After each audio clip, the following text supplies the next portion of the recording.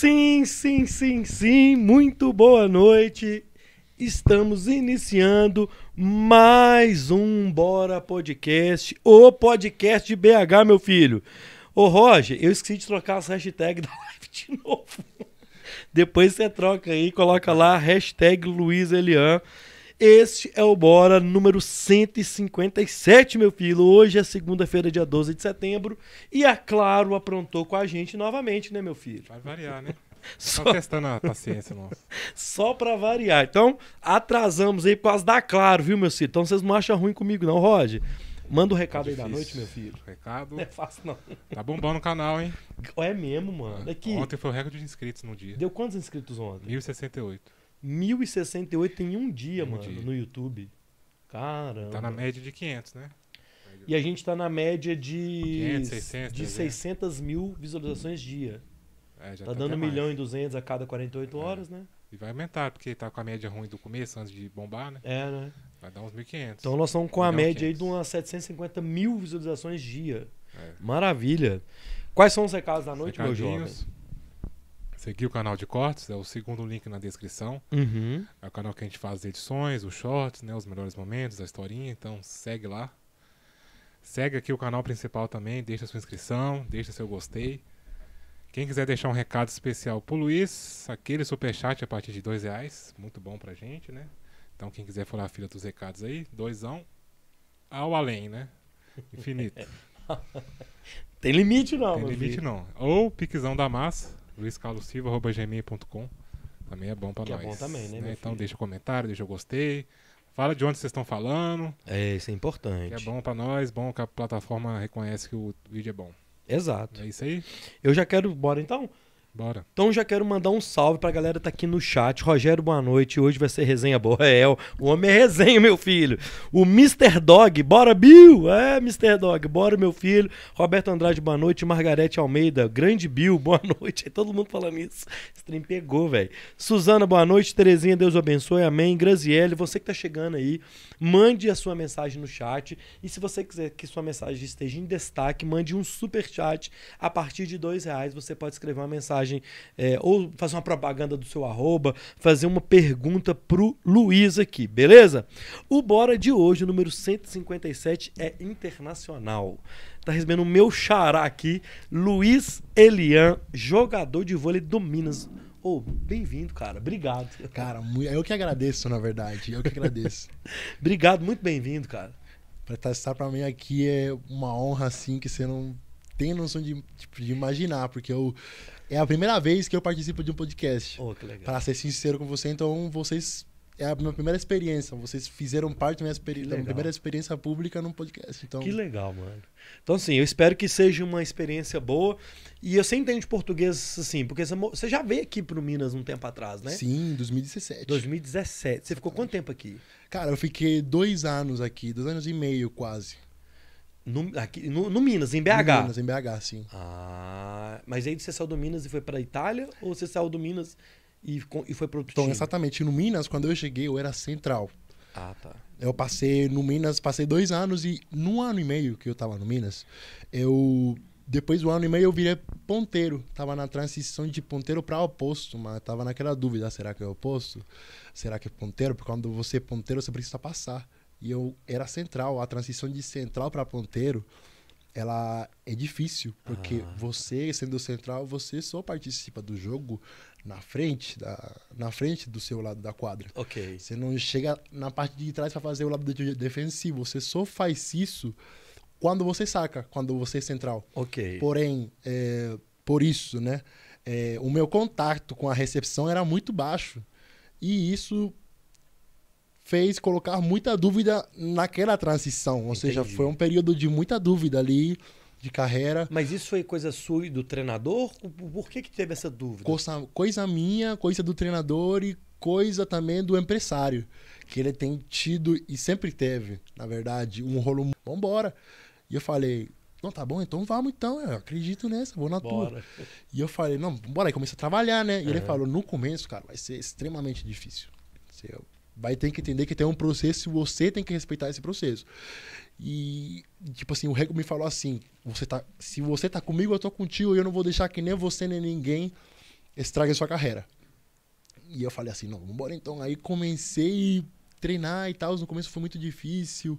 O treinador tava com dúvida e, tipo, eu não conseguia fazer direito porque era o começo da minha carreira Certo. naquela posição. É porque eu comecei como central minha vida inteira aí do nada trocar pra ponteiro, falar, Caramba, é Tipo outro assim, ritmo, né? teu Outra pa- corpo fica na expectativa do que, que você pode aprender. Uhum. Mas ao mesmo tempo você erra mais. Beleza, mas aí quando você erra mais, é, você, te- você tá num momento de transição, né, mano? Sim. Então, você, o treinador e os companheiros também têm que entender que tá rolando isso. Mas eu acho que a frustração de você errar muito, que é, que é foda de lidar, né? Também. Porque assim, pô, eu tô fazendo certo, tô tentando e, e, e, e- é difícil você lidar com essa parada. velho. Cara, tipo assim, a frustração, ela faz parte daquele processo que ele me falou. Ok. Sabe? A frustração faz parte daquele você vai se frustrar, você não vai acertar, você vai ver que a bola não vai onde você quer, você vai ver que você faz a técnica certa, mas a bola não vai no lugar certo. Você vai ver que você faz a técnica errada, vai lá no lugar certo, aí você começa a fazer errado e o treinador te fala, ó, tá errado. Aí você volta a fazer certo e dá errado de novo, a bola não vai pra onde você quer. Aí você começa a falar, cara, o que, que eu tô fazendo errado? O que, que eu tô fazendo errado? Aí, mas na verdade, a síntese é treinar. Pode A base de tudo no esporte é a repetição. Repetição, repetição, repetição. repetição. Caramba. Ó, vamos fazer o seguinte. A gente já iniciou aqui no início. É, iniciou no início é muito bom. É, é, a internet da Clara aqui, meus amigos, está instável, mas tá rolando, né, Roger? Tá rolando. Então é o seguinte, se der uma travada na imagem aí, a gente volta. é. Mas vamos tocando aqui para quem tá assistindo ao vivo. Ao vivo acontece dessas coisas. Então, se der uma travadinha na imagem, não vai embora não, que em dois minutinhos a gente volta. Mas vamos tocar aqui. Já quero mandar um salve aqui pro Rogério lá de São José da Lapa. Muriqui, manda um salve. Ô, meu amigo Muriqui de longas datas. Um salve, um salve pra Rosa Dias, tá aqui também. Então, um salve pra todo mundo. Você que tá chegando agora, vai mandando de onde você tá falando, de qual cidade você está falando. E se a imagem der uma travadinha, não briga com nós não, que a gente volta. A gente... Mas tá rolando, tá ao vivo. É bom avisar a turma pra turma não fugir aqui, beleza? Vamos então lá no início, pra gente chegar de novo no Minas, até nessas transições tal. Você é de Havana, você é cubano, Havana, de Cuba. nascença. é, Como é que foi lá? Como é que é Havana, cara? Porque aqui no Brasil, é, a, gente tem um pouco de preconceito. Sim. A gente, o preconceito do brasileiro é de. a- o que eles pintam de Cuba pra cá é, são, não é legal, assim. Eu tô te falando porque eu não conheço. É um país que eu sou doido pra conhecer, pra ver lá a realidade. Como é que foi lá a realidade sua em Havana? Como é que você chegou lá no vôlei? Porque a gente pensa em Cuba, num partido, num partido, num, num país socialista e que bota todo mundo pra praticar esporte, né? Assim, por causa das Olimpíadas e tal. Então, assim, Médico e esportista, é o que mais tem. Médico e esportivo.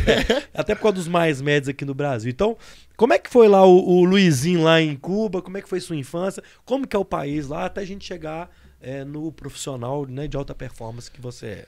Cara, é... Pergunta longa, hein? Tipo assim, é difícil elaborar a resposta, dado que a pergunta foi muito boa, mas isso me deixa empolgado, sabe? Lá, lá em Cuba, você teve acesso ao esporte desde sempre? Eu tive acesso ao esporte a partir dos 8 anos de idade. Tá. Então, nos 8 anos de idade, eu. Minha infância em Cuba foi muito. Eu era muito humilde, eu morava numa favela.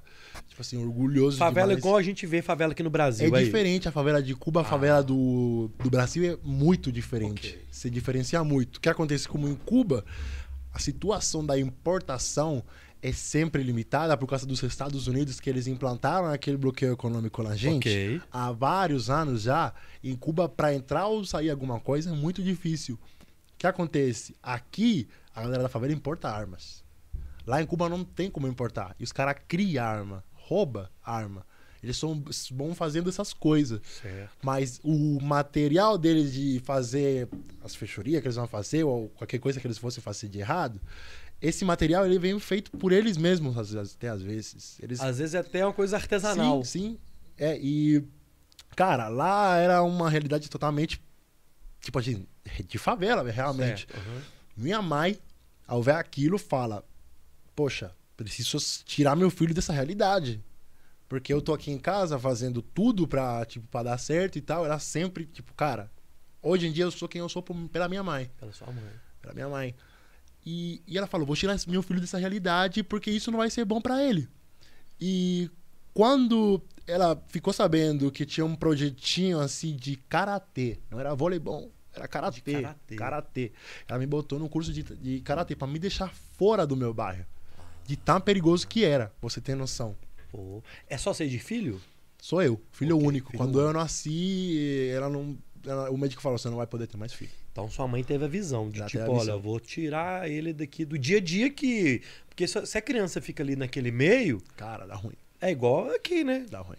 Ok. Então ela me tirou de lá e ela me colocou no, no ginásio de karatê. E eu lembro, cara. E é público isso? Era público? Sim, era público. Era uma escolinha ali que tinha uns cursos e tal. Era, acho que era ensino fundamental. E então aí tinha uns projetinhos de karatê. Aí eu falei, mãe, olha que legal. Aí a gente passou assim na frente e falou, olha que legal. E ela, e ela se tocou, falou assim, não, poxa, imagina eu, até, tipo, bati uns papos com ela e ela falou referente a isso também. Aham. Vou colocar ele ali, ah, tal. Aí ela me colocou, aí eu chegava lá e eu reclamava e tal, mas lá, olha que doido, eu peguei uma base de elasticidade no meu corpo, no karatê. No karatê. Aí eu fiquei mais flexível, tipo assim, eu consigo me contorcionar até o ponto de botar a cabeça no joelho. Uhum. Tipo assim, isso me ajuda na amplitude dos meus músculos na hora de colocar força na academia. Então, eu ganhei uma base que eu não achei que ia me, tipo, me favorecer, porque. Oh, mas eu já tinha o meu natural também de, de elasticidade. Aham. Mas enfim, fiz karatê. Lembro que chegou a terceira semana e falei, mãe, tá dando mais tô tomando muito soco, não dá pra ir não. Zuki chute. Troca, basquete. Ah, basquete, eu falei, ah, Você já era grande. era alto. Aí, Com oito anos, né? Eu já era uma criança. Já, Pronto. Já, já era maior do que o resto dos meninos, né? esse período de karatê pro basquete foi, cara, horrível. horrível. Que eu não tinha nada a ver com bola, nem sabia o que, que é, pra que que servia aquilo. Aham. Pronto. Só que eu já via, tipo, sempre me inspirei pelo que eu vi na televisão. Eu fui criado muito vendo as coisas na televisão, na TV. Então, pronto. Vi um cara, vi o Michael Jordan na televisão. Falei, mãe, é basquete. Aí ela me levou pro basquete. Fiz basquete. Depois do basquete fiquei lá uns três meses. Falei, mãe, correr demais. Vai dar não. É- Ela já tava pirando. Ela já tava começando a ficar, ó, ele não quer, ela não quer nada. E eu vou ter que obrigar ele. Pronto. Tá enrolando, é, ué. Vamos lá. É, Pronto. Aí chegou lá, pai, aí a gente saiu. Eu falei, mas vamos sair. Saí. Aí eu fui fazer natação, cara. bom, Não durei nem dois dias. Não gostou nem dois dias. Cara, talvez eu vou te falar uma coisa que você vai falar, ah, não, mas você tá usando desculpa pra falar que você não sabe nadar. Ah, Mas, cara, gente de cor, gente negra, cara, é mais fácil afundar na água por causa da densidade dos ossos. Pode procurar no Google. não, aí não. Pode procurar no Google, cara. Juro, juro pra você. Pode Não, isso era procurar no- desculpa, não. Pode procurar no Google, procura no Google, cara. Não, não, não. tem- Sério, sério. Não, vai, vai contando e Quantos vou nadadores pesquisar. olímpicos tem negros? Depende, sabe por quê? Porque a... Beleza, tem menos. Não, tem menos. Tem ó, menos? Não, tem, ó. Mas, por exemplo, quem são os, o- Os top. os top é porque o país treina. Mas é por- porque, por exemplo, o Cuba é boxe, Sim. vôlei, E beisebol. beisebol. Aham. Não sei, ó. Se botar lá na escolinha lá, eu sei que não, não, Não, mas eu não tô- nadar. Então, eu não tô dizendo que, que, que pessoa negra não consegue nadar. Não, consegue, mas, mas... tipo assim, tem, uns, tem estudos que falam Será que, que é mais é, tipo assim, é mais difícil pra uma pessoa preta, tipo, flutuar na água por causa da densidade dos ossos. Pode procurar. Vou, vou pesquisar, beleza. Aí, vou- enquanto Mas- você responde, aí você enrolou. Sua mãe que não tava, tava aí afundando pronto. na piscina. Aí eu falei, mãe, não dá, tô afundando. Aí Aham. pronto, minha mãe dessa fa- falou, eu vou colocar ele no. Aí não, mentira. Eu tava em casa assistindo o jogo e, e tinha Cuba no jogo. Eu lembro que depois, a, depois de sair do basquete, eu comecei a me aproximar no vôlei um pouco pela, pelo que eu via na TV, novamente. Pronto. Aí eu. Cara, eu vi o Simão, Roberland Simão Atias, se chama ele, um jogador de vôlei atualmente no Lube, um Ah. time na Itália, mas ele é jogador da seleção de Cuba também. E eu vi ele fazendo isso assim com o dedo, na- com a bola, assim, a- deixando a bola no dedo, assim. E eu falei, mãe, eu quero fazer isso. E ela se tocou de novo e ela falou: essa é a oportunidade de fazer ele fazer uma coisa pra vida, porque ele não vai saber o que ele quer se ele continuar testando assim desse jeito. É. E ela falou: pronto, vou te levar. Só que aí eu fui e no começo tava tudo legal, tudo bom, só que era embaixo do sol, velho. Sou A quadra não era coberta. Não, e era no cimento. Aham. Aquela quadra ficava que parecia o inferno de tão quente que tava. O tênis, a sola do tênis esquentava, E mas. se você for pegar uma bola no chão e ralar ali, Cara, não, não tem como. Né? Isso aí é. Isso aí é o resto, né, cara? Meu Deus, era muito, tipo assim, muito Aham. base, né? Começo de Aham. carreira. E pronto, mais uma vez eu fui na mamãe e falei, mãe, tá muito quente, muito sol. O treinador é chato, tá me xingando. Não quero. Ela falou, ei, deu. Acabou. Você vai ficar no. Mas, mãe, eu não, eu não quero que tá queimando É. meu pé, não sei o quê. E ela falou assim: hoje você não vai. Porque eu fico lá com você todo dia e eu sei que ela tá quente mesmo. Mas amanhã eu te levo. E é por isso que hoje eu continuo com o voleibol. ela insistiu então. Ela insistiu, senão eu teria desistido na hora, cara. Na hora, na hora, na hora. Tipo assim, Caramba. o país, pela dificuldade que o país tem, é um país que você tem que chegar a um nível alto profissionalmente para depois sair. Porque você não vai achar oportunidade nenhuma. Muita Uhum. gente fala, cara, Brasil não tem trabalho, Brasil é difícil, Brasil isso, mas a realidade lá é outra. E muita gente, tipo, paga pau, sabe? Uhum. Vulgar- vulgarmente falando. Porque muita gente vê coisas na TV que, por exemplo, não que a pessoa acha, não, beleza, é aquilo, tem muito projeto social, Operação Peter Pão, Cuba, ajudando o Brasil, tal, tudo mais. Mas a realidade lá é outra. Cara, você tem dinheiro. Tipo assim, não vou trocar o fato da humildade que o salário mínimo lá é 43 dólares. E eu acho que eu chutei alto. Mas quando eu saí tava menor. Eu acho que isso aumentou. Imagina uma pessoa que tem que comprar frango. Você vai no mercado e compra frango tranquilamente. Minha mãe, ela comprar frango atualmente. Por isso que até hoje, tipo, ela é a minha gasolina. Tipo, ela é que me impulsiona a querer mais, a Uhum. tipo, fazer mais. E, cara, ela tem que fazer uma fila às 4 horas da manhã, quase 3 horas da manhã, pra conseguir pegar frango no final do dia. Isso nós estamos falando hoje. Hoje, 2022. Atualmente. Atualmente. Ela. me- às vezes eu ligo pra ela, ela me liga, ela fala, ô, tô aqui fazendo a fila pra pegar o frango. E eu fico, mas não é possível. Mas e, e é- comprado esse frango ou é, ou é dado pelo Então, governo? tem a cota, que eles te dão um librinho, tipo, né? Que você tem. Vai colocando ali no mês e você tem um. tem, por exemplo, você tem, se tem uma família de quatro, cada um tem direito a quatro. Quatro coxa e contra-coxa Aham. de frango. Quatro. Aí você tem direito a um quilograma de açúcar, seis de arroz. Caramba, bicho. Você pode comprar por fora. Só que é mais, muito mais caro. Certo. Aí você tem isso, que é, entre aspas, mais barato. Só que quando, tipo assim, por exemplo, a criança parou, tipo, já fez 14 anos, já começa, já o iogurte não tem mais, o leite não tem mais, Aham. entendeu? Aí já vai assim, não dá pra comprar só ali, nesse mercadinho, que são os mercadinhos meio que perto que o governo Certo. colocou pra galera, né? Popular comprar. ali, né? Sim, ser um negócio mais barato e tal. Depois você tem que comprar por fora. Aí como é por fora, o que que a galera faz? Vai nesses mercadinhos, compra tudo. Tudo. Isso aconteceu da, da, da troca da moeda e do tempo do Covid pra cá. Porque quando chegou o Covid, o presidente do país unificou a moeda. Olha que ideia legal. Ele unificou a moeda e criou lojas que só quem tem família fora pode comprar. Por exemplo, essas lojas se chamam exatamente, cara, não vou me lembrar agora, mas eu acho que alguma coisa que o governo fez. Ah. Com certeza eu tenho, mas não me lembro do nome agora. Aham. E, por exemplo, você tem um cartão que você só pode comprar nessa loja. E tem uma rede de, digamos, na cidade, quatro lojas desse tipo. Cada uma em, cada, em um extremo da cidade, você tem que ir até lá para comprar o que tiver. Porque já revendedores compraram e ficou sem nada dentro. E para você comprar, tem que ter um cartão que só. Se tua família te mandar, de, por exemplo, em Cuba, muita gente migra a Miami. Faz uma Aham. vida boa lá Aham. e fica com mais graninha, né? Aí manda para familiares e começa a ajudar familiar.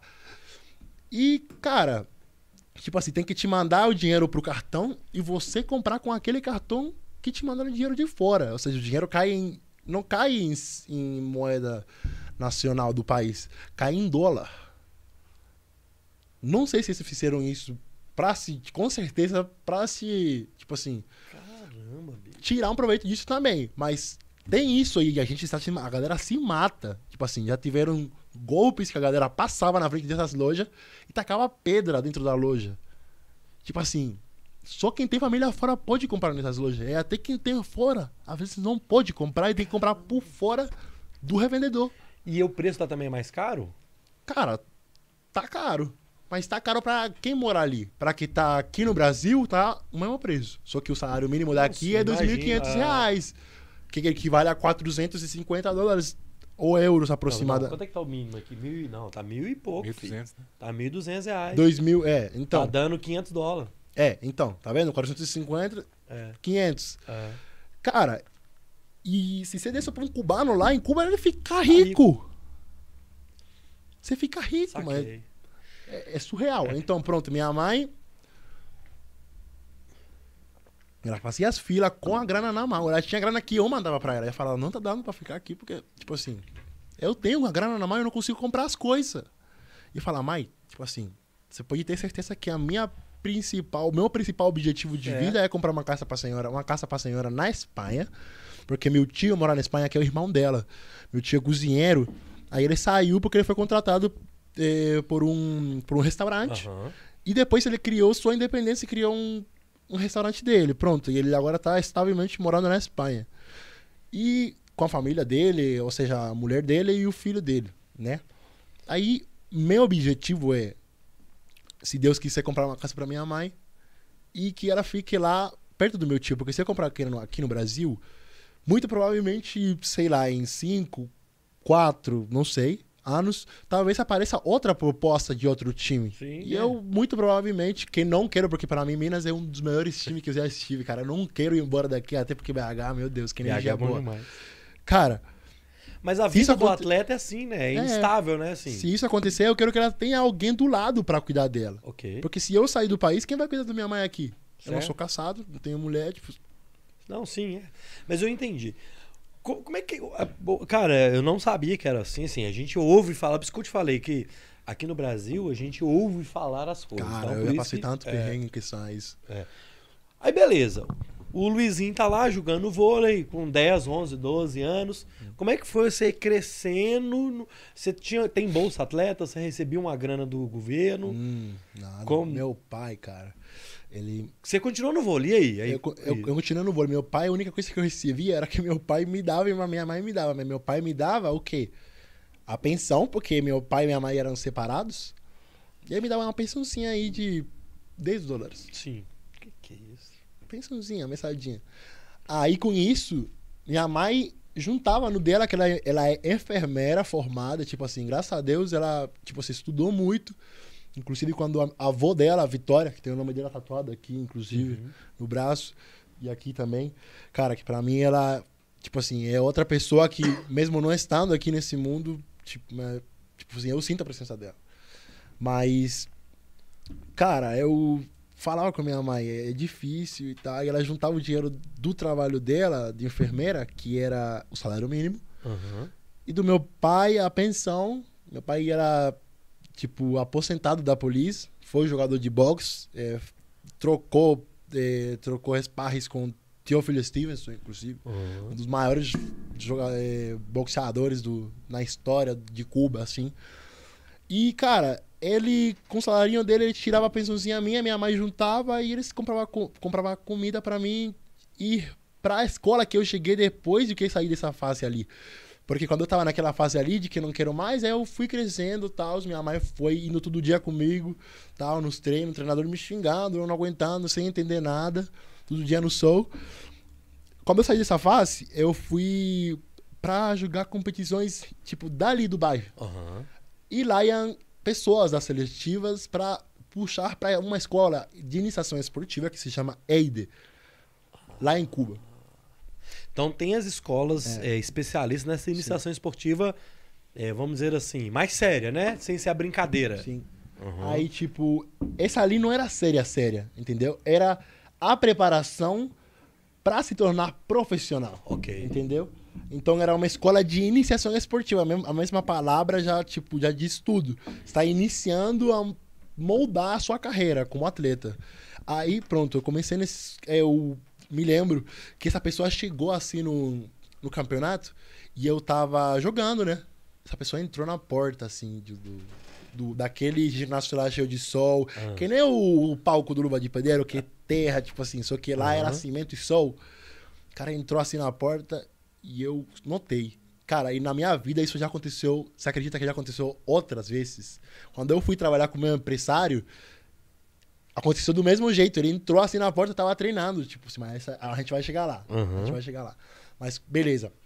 Ele entrou assim na porta e eu falei assim, cara, esse cara eu nunca vi e tal.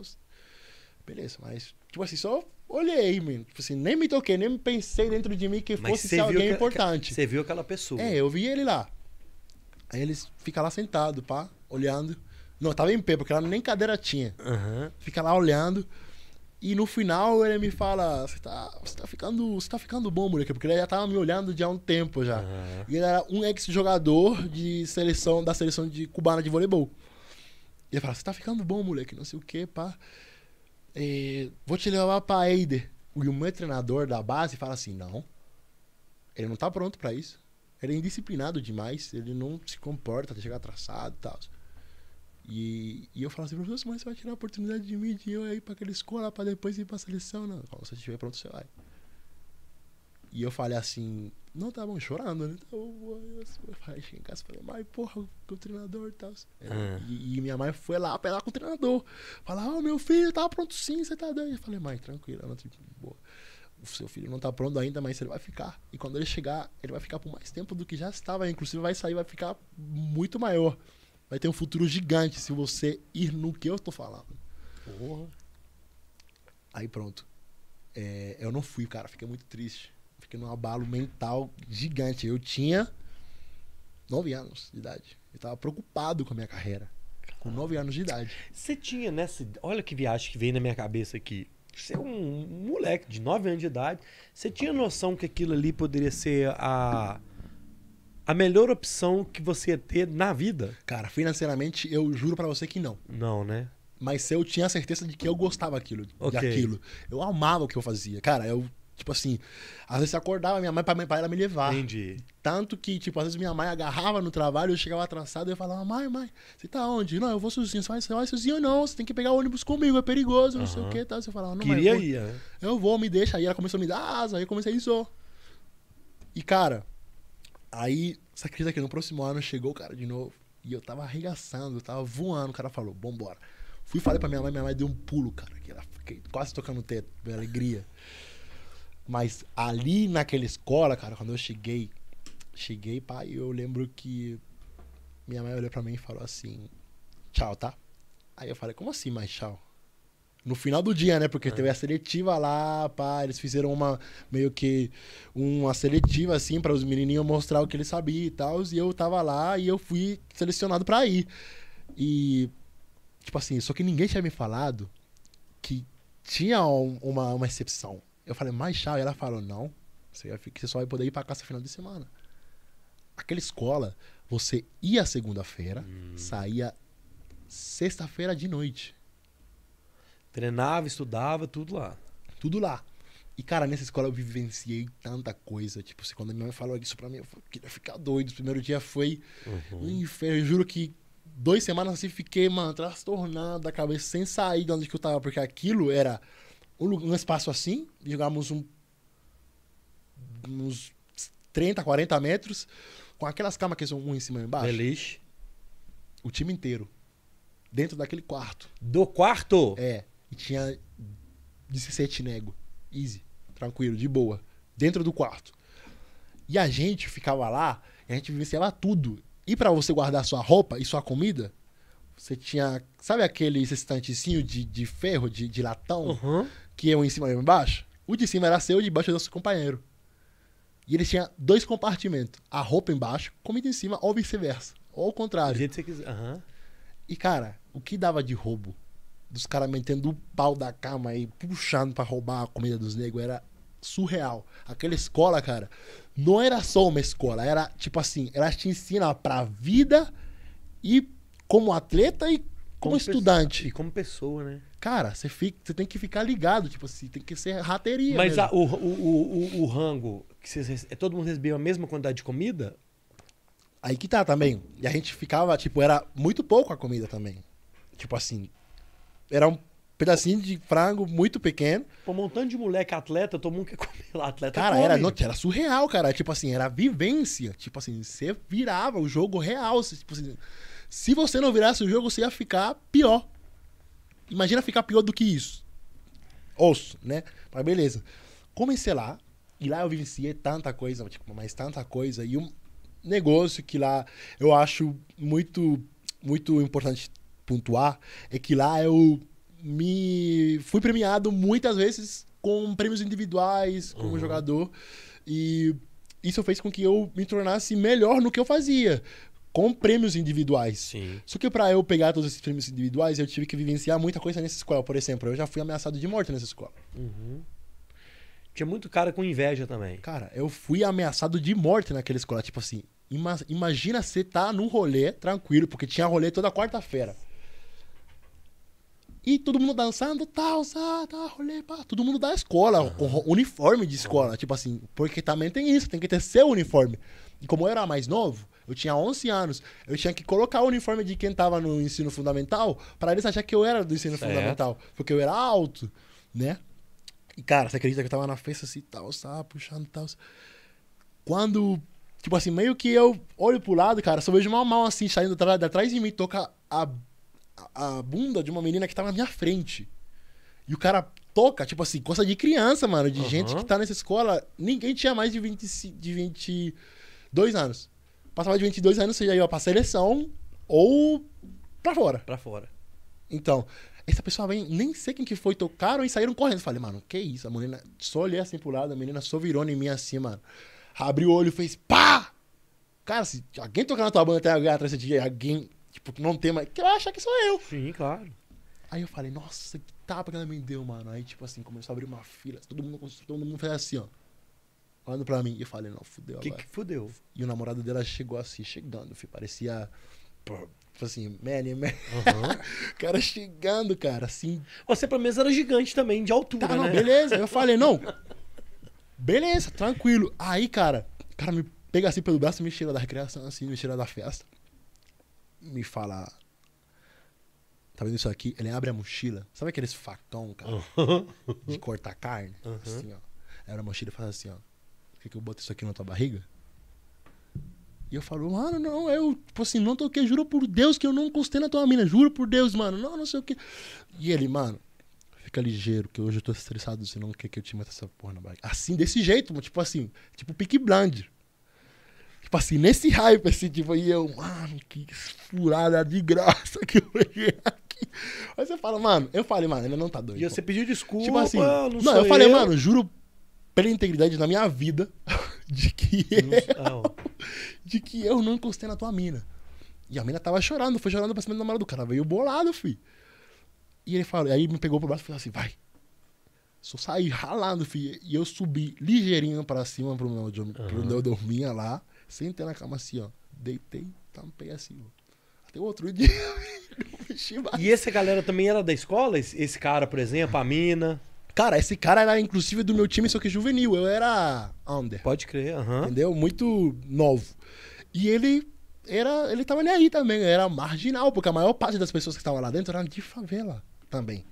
Era cara, Caramba. se tivesse um filho de papai lá, eu acho que ele saía. Não aguentava a pressão. É.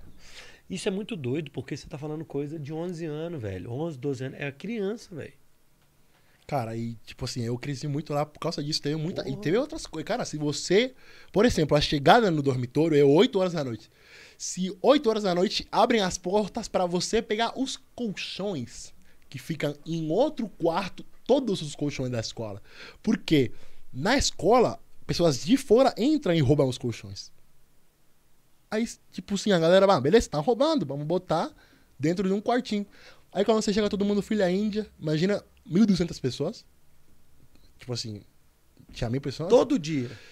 Acho que era, era mil, cara. Era, acho que umas 800 pessoas. 800, 700 pessoas. Todo dia fazendo filinha pra pegar o colchão pra dormir. E você tem que marcar o seu colchão. Você chegar, che- chega, chegar outro bulo, bulo, bulo, tipo assim, pegar seu colchão, alguém que quer, porra, fiquei sem colchão, vou pegar o do fulano. Aí você tem que ir dormitório por dormitório, quarto por quarto, pra ver quem que tá com o seu colchão. Misericórdia. Isso aí tudo final de semana, cara. A gente, tipo assim, a gente acorda, vai trabalhar e a gente fala, porra, tá, tá, nossa, que é vontade de ficar na cama e tal. Mas eu saía pra trabalhar e eu tinha que ficar ligado, tipo assim, pô, se os caras ficar de viagem comigo, porque eu tinha que me defender. Eu não podia ser otário, tipo assim, dormir na tábua. Certo. Mas mesmo assim, eu já dormi na tábua.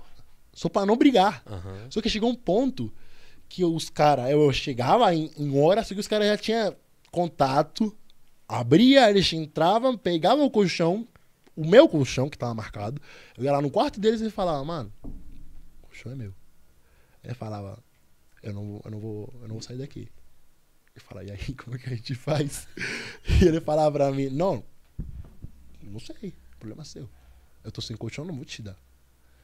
Aí, aí você tem que sair na porrada com o cara. Puta merda. Pra pegar o seu colchão pra dormir. Ô, velho, eu... Pra dormir, cara. Que é um bagulho que, tipo assim, você faz todo dia. e tem professor? Não tem quem que orientava? Quem que são os responsáveis por essa molecada toda aí? Quando chegava o professor, tudo ficava. Joia. Colchão aqui, ó.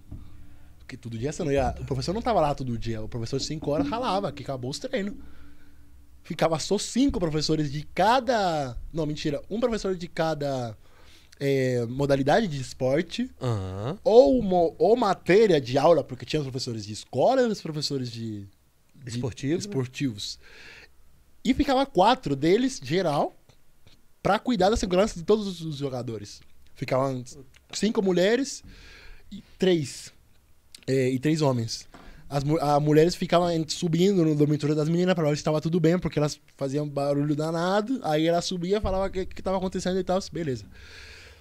E, cara, essas pessoas cuidavam, né? Aí, tipo, por exemplo, se você quisesse sair ver a sua namorada de uma hora da madrugada, você não podia. Você tinha que passar por baixo do sótão da escola, que era cheio de fango, tinha os cachorros guardião ainda, tipo, vira-lata.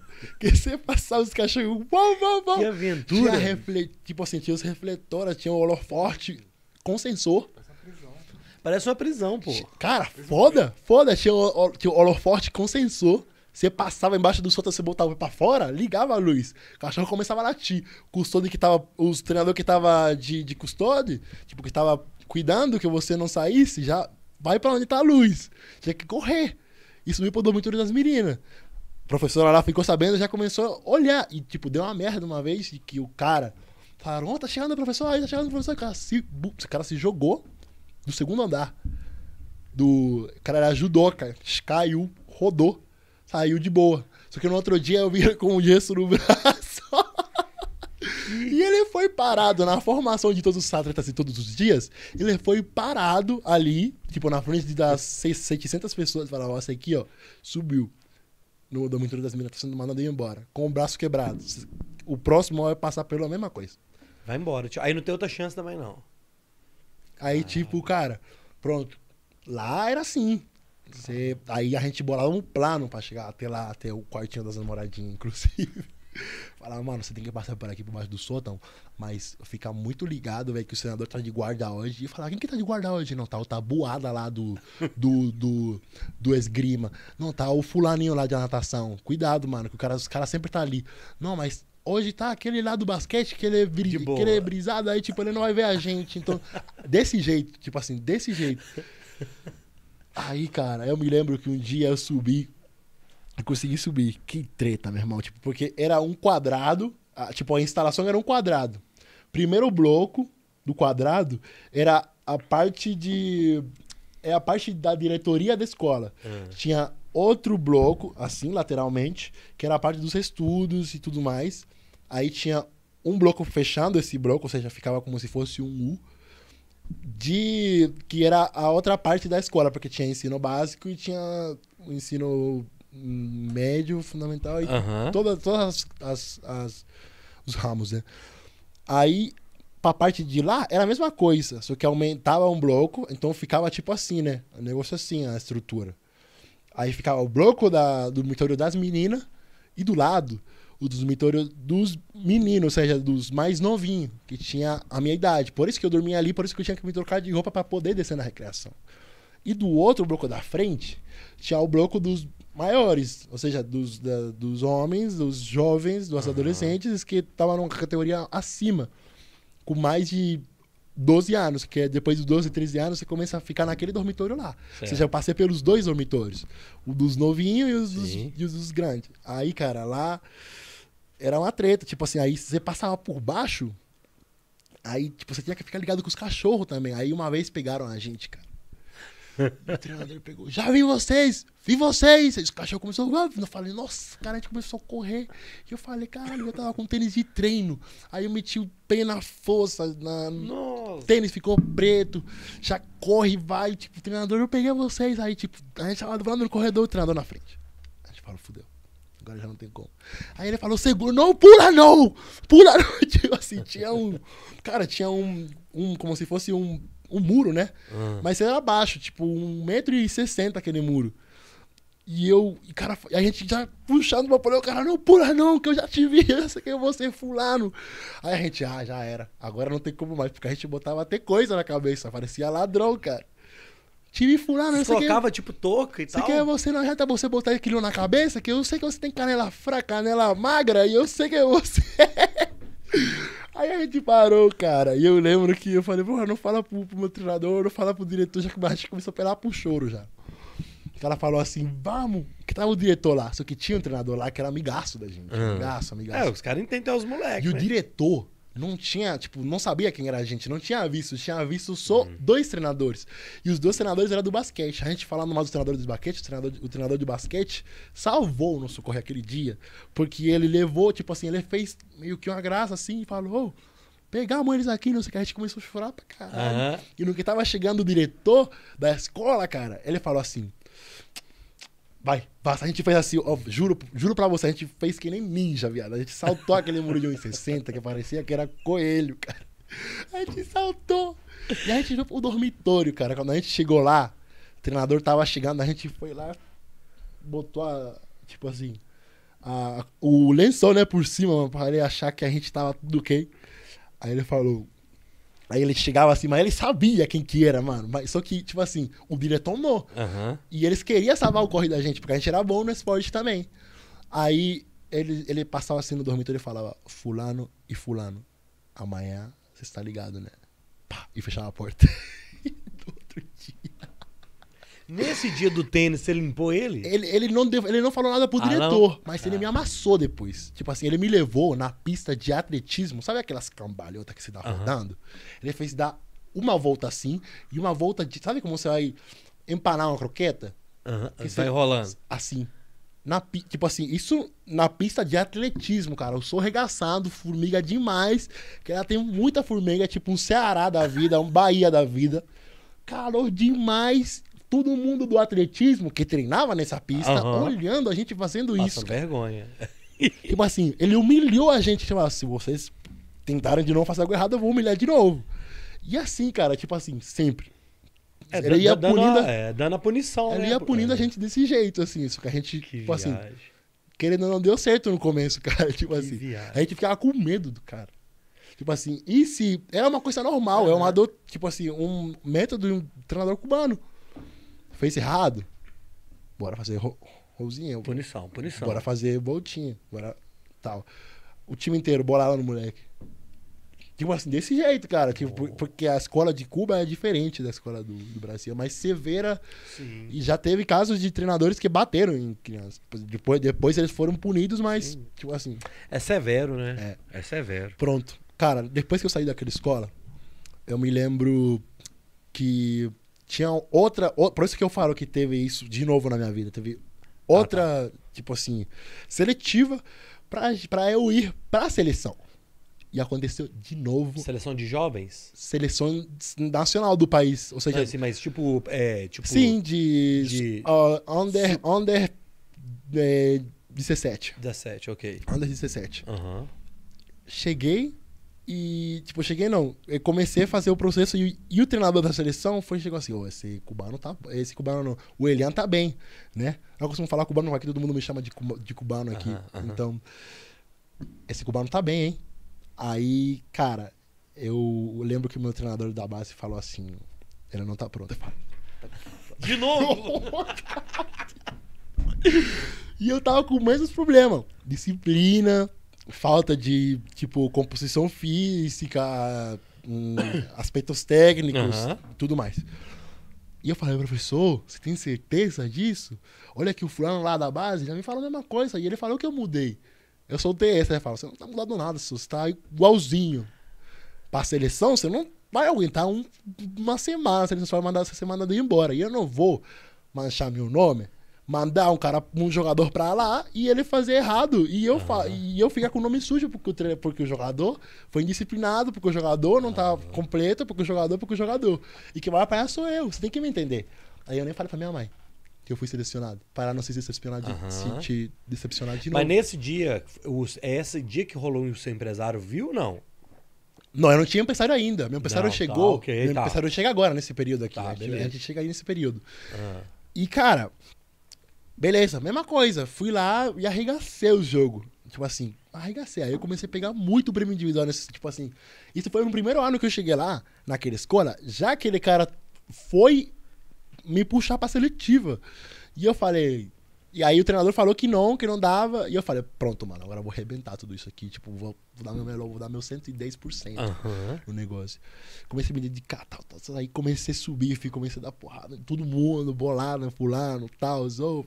Aí os caras fazia, tipo, te convidava pra seleção. E eu lembro que a primeira vez que eu fui convidado, eu falei, sou convidado. Tipo assim, não tinha, não tinha, não tinha me, me puxado 100% pra seletiva, estava me testando pra ver se eu aguentava. Aham. Entendeu? Mas eu tava lá naquela escola ainda de iniciação esportiva. Certo. Aí eu falava, aí o cara, os caras da seleção falavam assim, ô, preciso de Elian aqui pra quatro semanas seguidas, assim. Você vai ter que desligar daquela escola lá por quatro semanas, duas semanas, e ele fica lá, e ele vai ficar aqui com a gente, porque é, tem uma viagem. Aí eu ia pra lá, e eu jogava lá. E eu lembro que o primeiro dia, que eu cheguei lá, tinha o Cepeda, um jogador muito, muito, muito bom. Aí eu lembro que eu, quando eu jogava, na, sempre, quando eu joguei na base, eu sempre fui uma pessoa muito, tipo, alegórica, gritava, saltava, bah, vibrava muito. Eu sempre vibrei, muito. Inclusive as fotos minhas no Instagram, a metade com a boca aberta, gritando. Cara, e eu lembro que eu dei um bloqueio nele, velho. Tipo assim, no, no pé. E, e eu fiquei calado. O treinador chegou em mim e falou assim: Você tá doido? Eu falei: Caralho, o que, que eu fiz? Os Uhum. caras tá me testando e eu agora tô aqui fazendo merda. E ele falou assim pra mim: Você tá doido? Você deu um bloqueio no cara, você não vai gritar? E eu falei assim: Não, professor, que o cara é velho, respeito. Ele falou assim: Ó, respeito o caralho, só. Tem que regaçar ele, tá do outro lado, você tem que regaçar ele. Pra você ver a ideologia Hum. de treino, ou seja, ou seja, o sistema de, de, de, de preparação de um atleta em Cuba, cara. Você fala, o, o jogador de Cuba, por que, que ele é assim? Por que, que ele é assim agressivo? Porque ele é formado assim desde pequeno, cara, desde a base. Aham. Ele fala assim: respeita o cara, você vai lá, você vai dar outro toco nele, você vai murrar ele, você vai gritar na, de frente pra ele. E aí de você se você não faça isso todos os dias. Aí os caras, ah, Sanches, que o nome do treinador era Sanches, né? Não fica pilhando o moleque, não, que ele vai crescer pra. Mano, tipo assim, depois não tem mais como me segurar. Não tem. é, E eu comecei a dar porrada e gritar, porrada e gritar, porrada e gritar. Os caras falaram, não tá pronto? Falou, perguntou pro treinador, tá pronto já? Falou, não, tá não. Meu treinador tinha uma raiva comigo, cara, porque ele sabia que se eu saísse de lá, ele ia me perder para as competições dele. E ele não queria me deixar, porque ele tinha carinho por mim, mas ele queria meu bem. Sim. O nome dele é Catar. Tipo assim, cara, eu me lembro dele como se fosse hoje. Tinha, eu tinha 14 anos de idade. Hoje eu tenho 22. E ele, e ele falou assim: Eu vou te deixar aí, mas você não tá pronto, você tá ligado? Você tá tudo errado. Não sei o que. Ele é sempre assim, tipo, sabe que treinador que, tipo, mostra que é duro, mas lá dentro ele sente e ele sabe que você tá pronto, só que ele não quer te deixar ainda, que ele quer te deixar perfeito Sim. pra passar de, de etapa. Sim. Aí ele me deixou ir. E eu falei, mãe, vamos pra seleção de Cuba. Minha mãe deu outro pulão, cara. Tipo assim, vá, pega a cerveja, compra, pá, já vai, faz festa tal. Cara, e tipo, eu lembro que minha mãe chorou demais naquela noite, porque ela sentiu um alivio. que eu comecei a ganhar um salário mínimo também, comecei a ajudar ela. Tipo assim, ela chorou demais. Eu falei, ah, o que você ajuda? Pela seleção. É.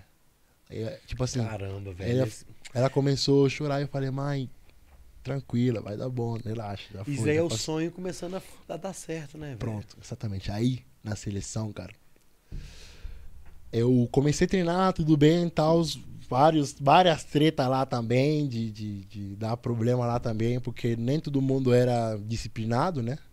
Tipo, tinha moleque de favela sempre, porque é a realidade mais, tipo, mais próxima de todos os moradores de Cuba, inclusive. Uhum. Não tem alta sociedade, não tem gente com mansão, gente que tem um, um, um tongonal de dinheiro, um monte de dinheiro assim. Porque quem empreende não declara para não pagar imposto Certo. e quem empreende perde porque paga muito imposto e pouco salário mínimo. Então não pode, não, não termina fazendo muita coisa. E ela sentiu um alívio assim que ela falou, cara, meu filho agora tá no lugar certo. Ele nunca mais vai descer pra esse bairro aqui. Ele- ela já tava achando bom aquela escolinha lá de iniciação esportiva. Aquela escolinha não, porque ela fez a minha base esportiva. Aquela, aquela escola de iniciação esportiva. E ela já tava achando isso legal. Quando ela viu que eu entrei ali, ela falou: Pronto, meu filho tá no caminho certo. Tipo assim, Dá um alívio. agora, pra ela falou: né? Agora é contigo. Eu vou, sempre vou estar te apoiando, mas agora é contigo. Ainda mais, você tem que segurar e manter aqui, inclusive sair mais. Pronto. Lá, cara, eu tive um problema, de novo. Meus problemas na minha vida, assim, ó. Isso na seleção. Na seleção já. Pra não passar a história longa, né? Lá vem ele. Cara. Como lá era escola e esporte também, só que era só voleibol. Mais tranquilo pra mim, não tenho que mexer, não tenho que mexer com a galera do basquete, do Uhum. beisebol e tal.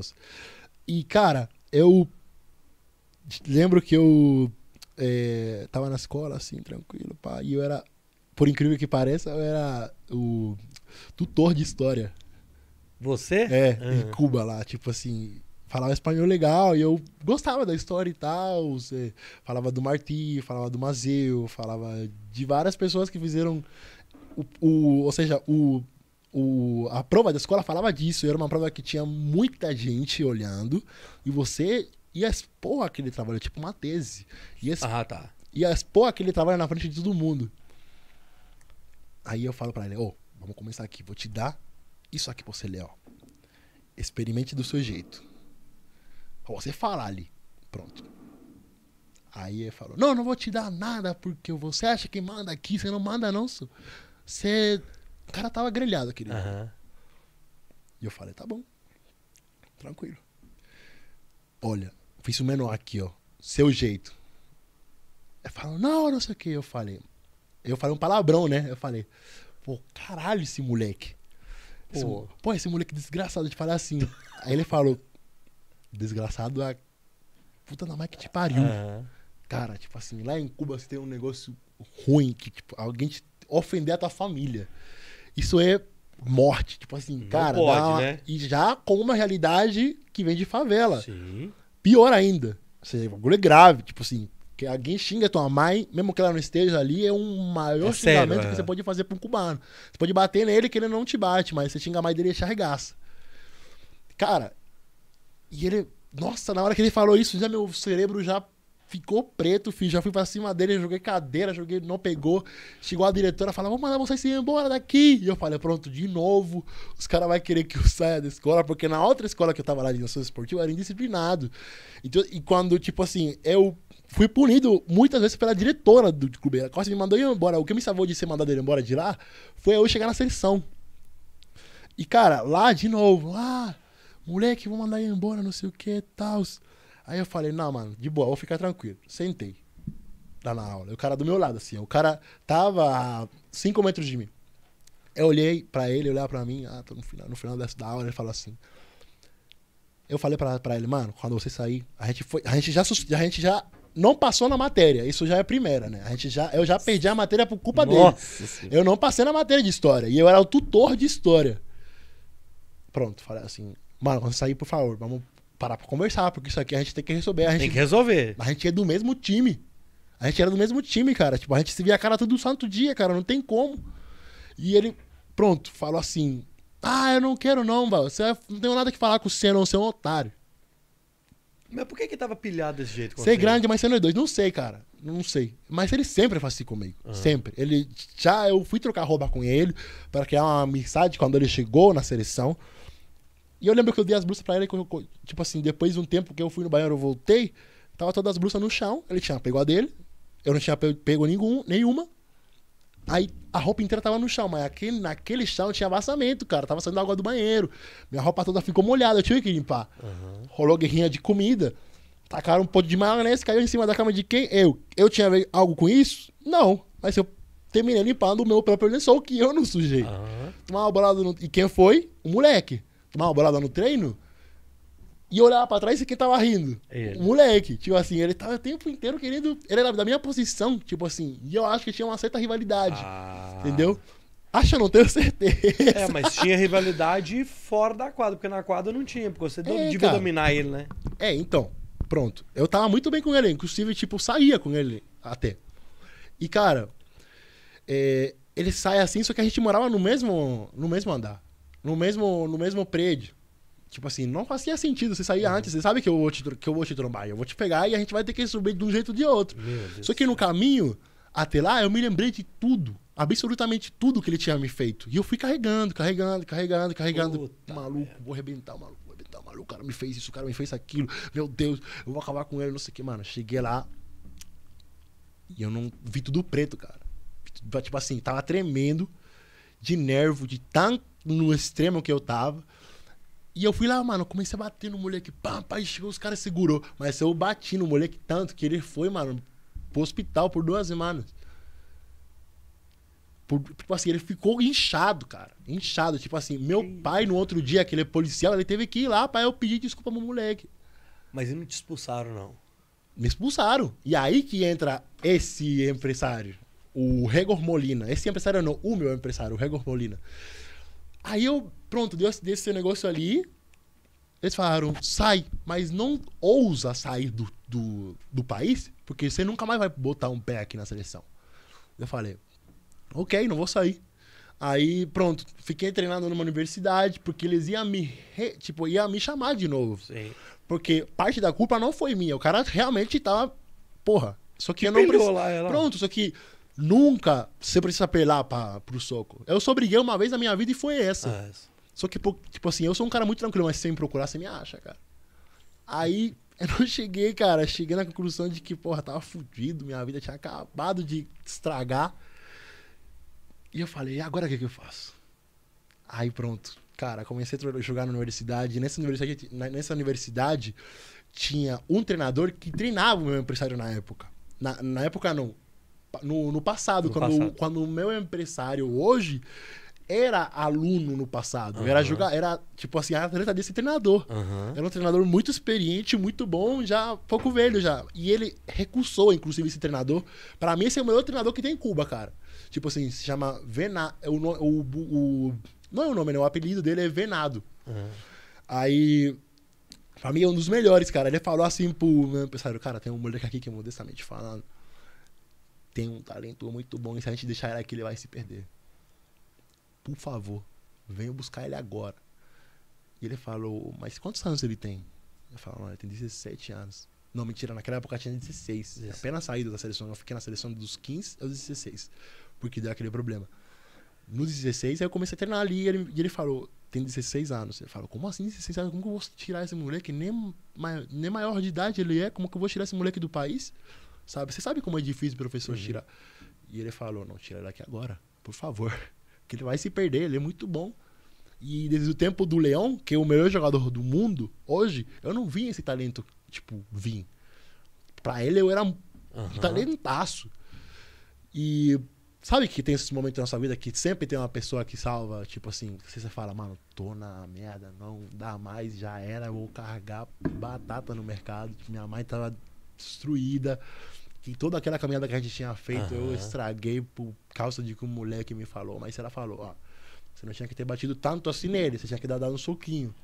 Podia ter destruído o cara. né? Ela falou, tipo assim, tipo assim, você vê como é a mentalidade dos cubanos, cara.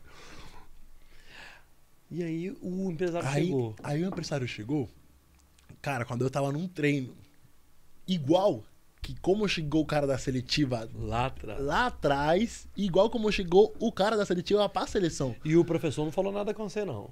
Aí não, aí o professor, olha que, olha que doido, nesse giro da vida, tem uma pessoa que fez a diferença e não falou que eu tava fazendo merda. Falou que eu tava muito bem, que eu precisava sair do país porque senão eu ia me perder.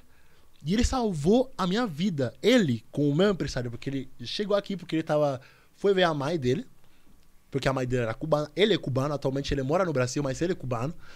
Aí ele foi lá a ver a mãe dele e, aproveitou pra me ver jogando. Tudo nessa época. Ele tava trabalhando, naque, ele, tava trabalhando naquela época. Tipo assim.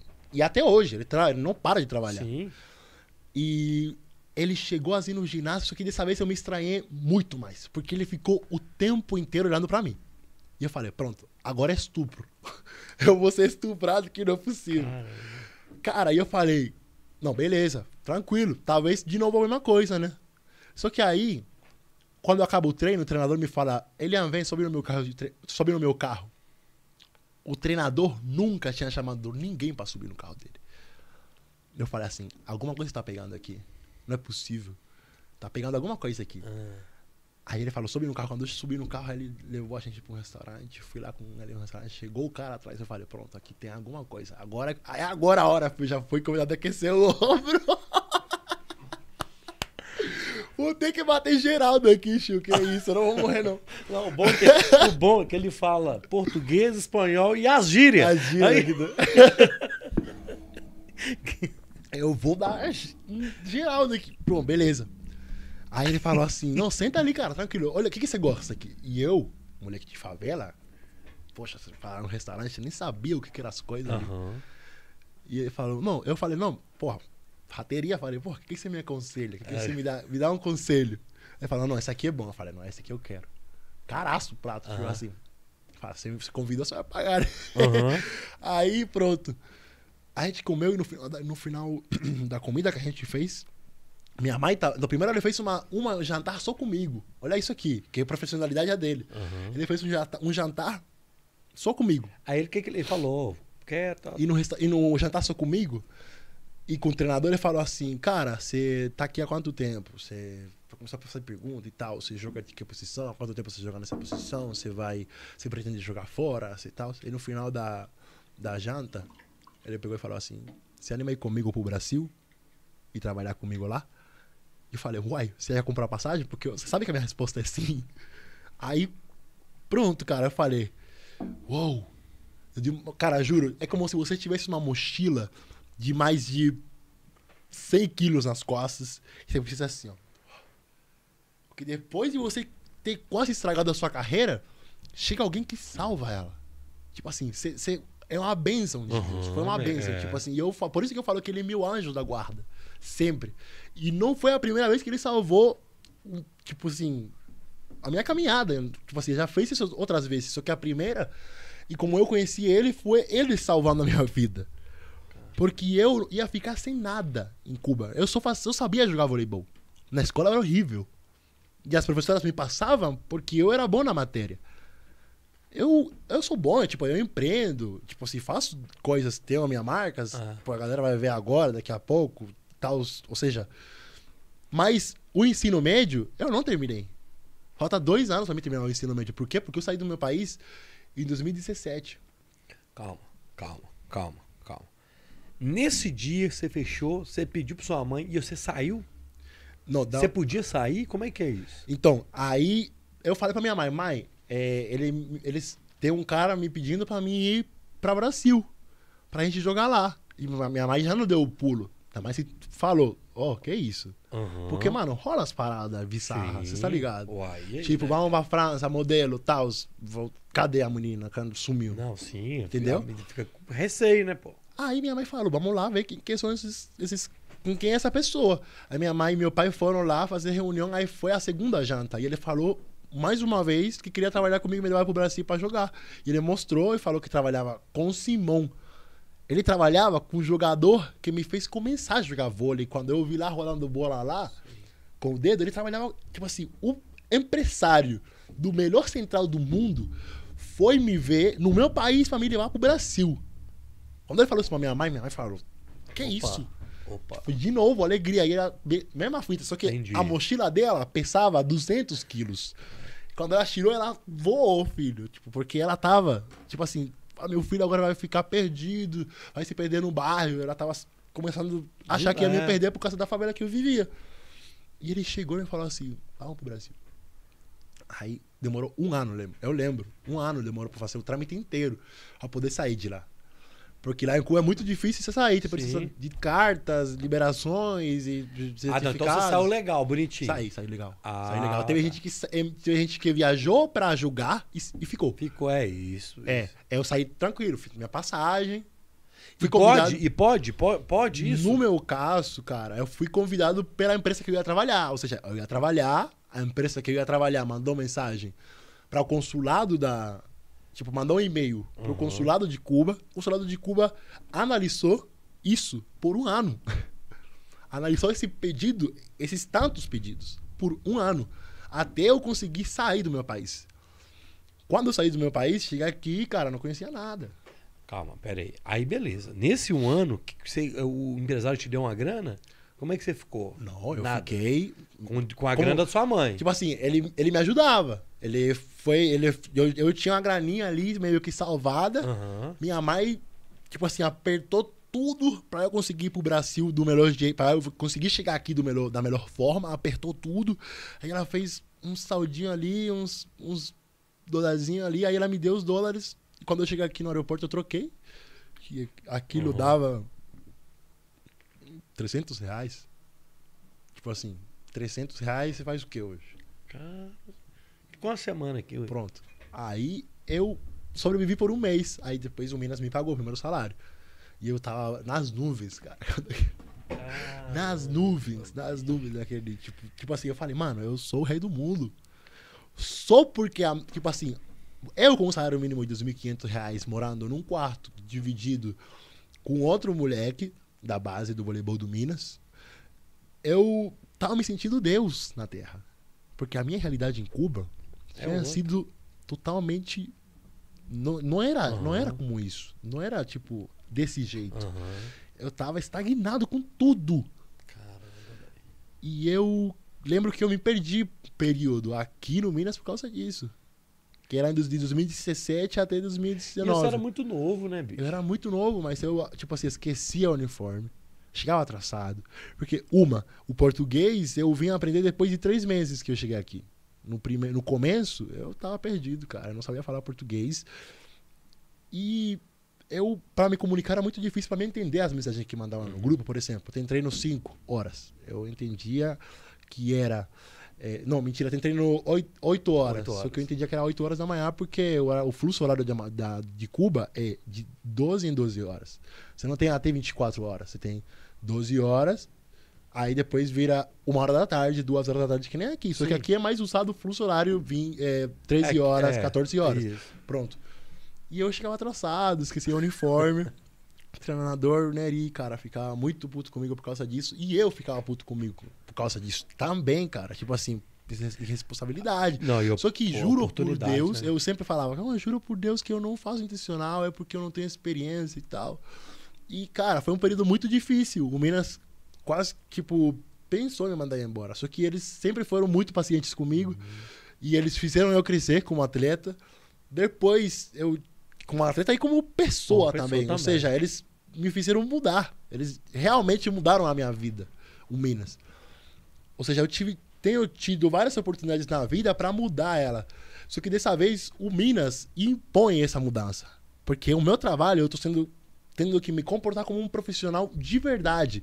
Chega de chegar atrasado, chega de querer brigar porque fulaninho xingou a tua mãe, chega de tudo, Aham. chega de, de reclamar porque tá queimando no passado lá, tudo, tudo isso vai pro lixo.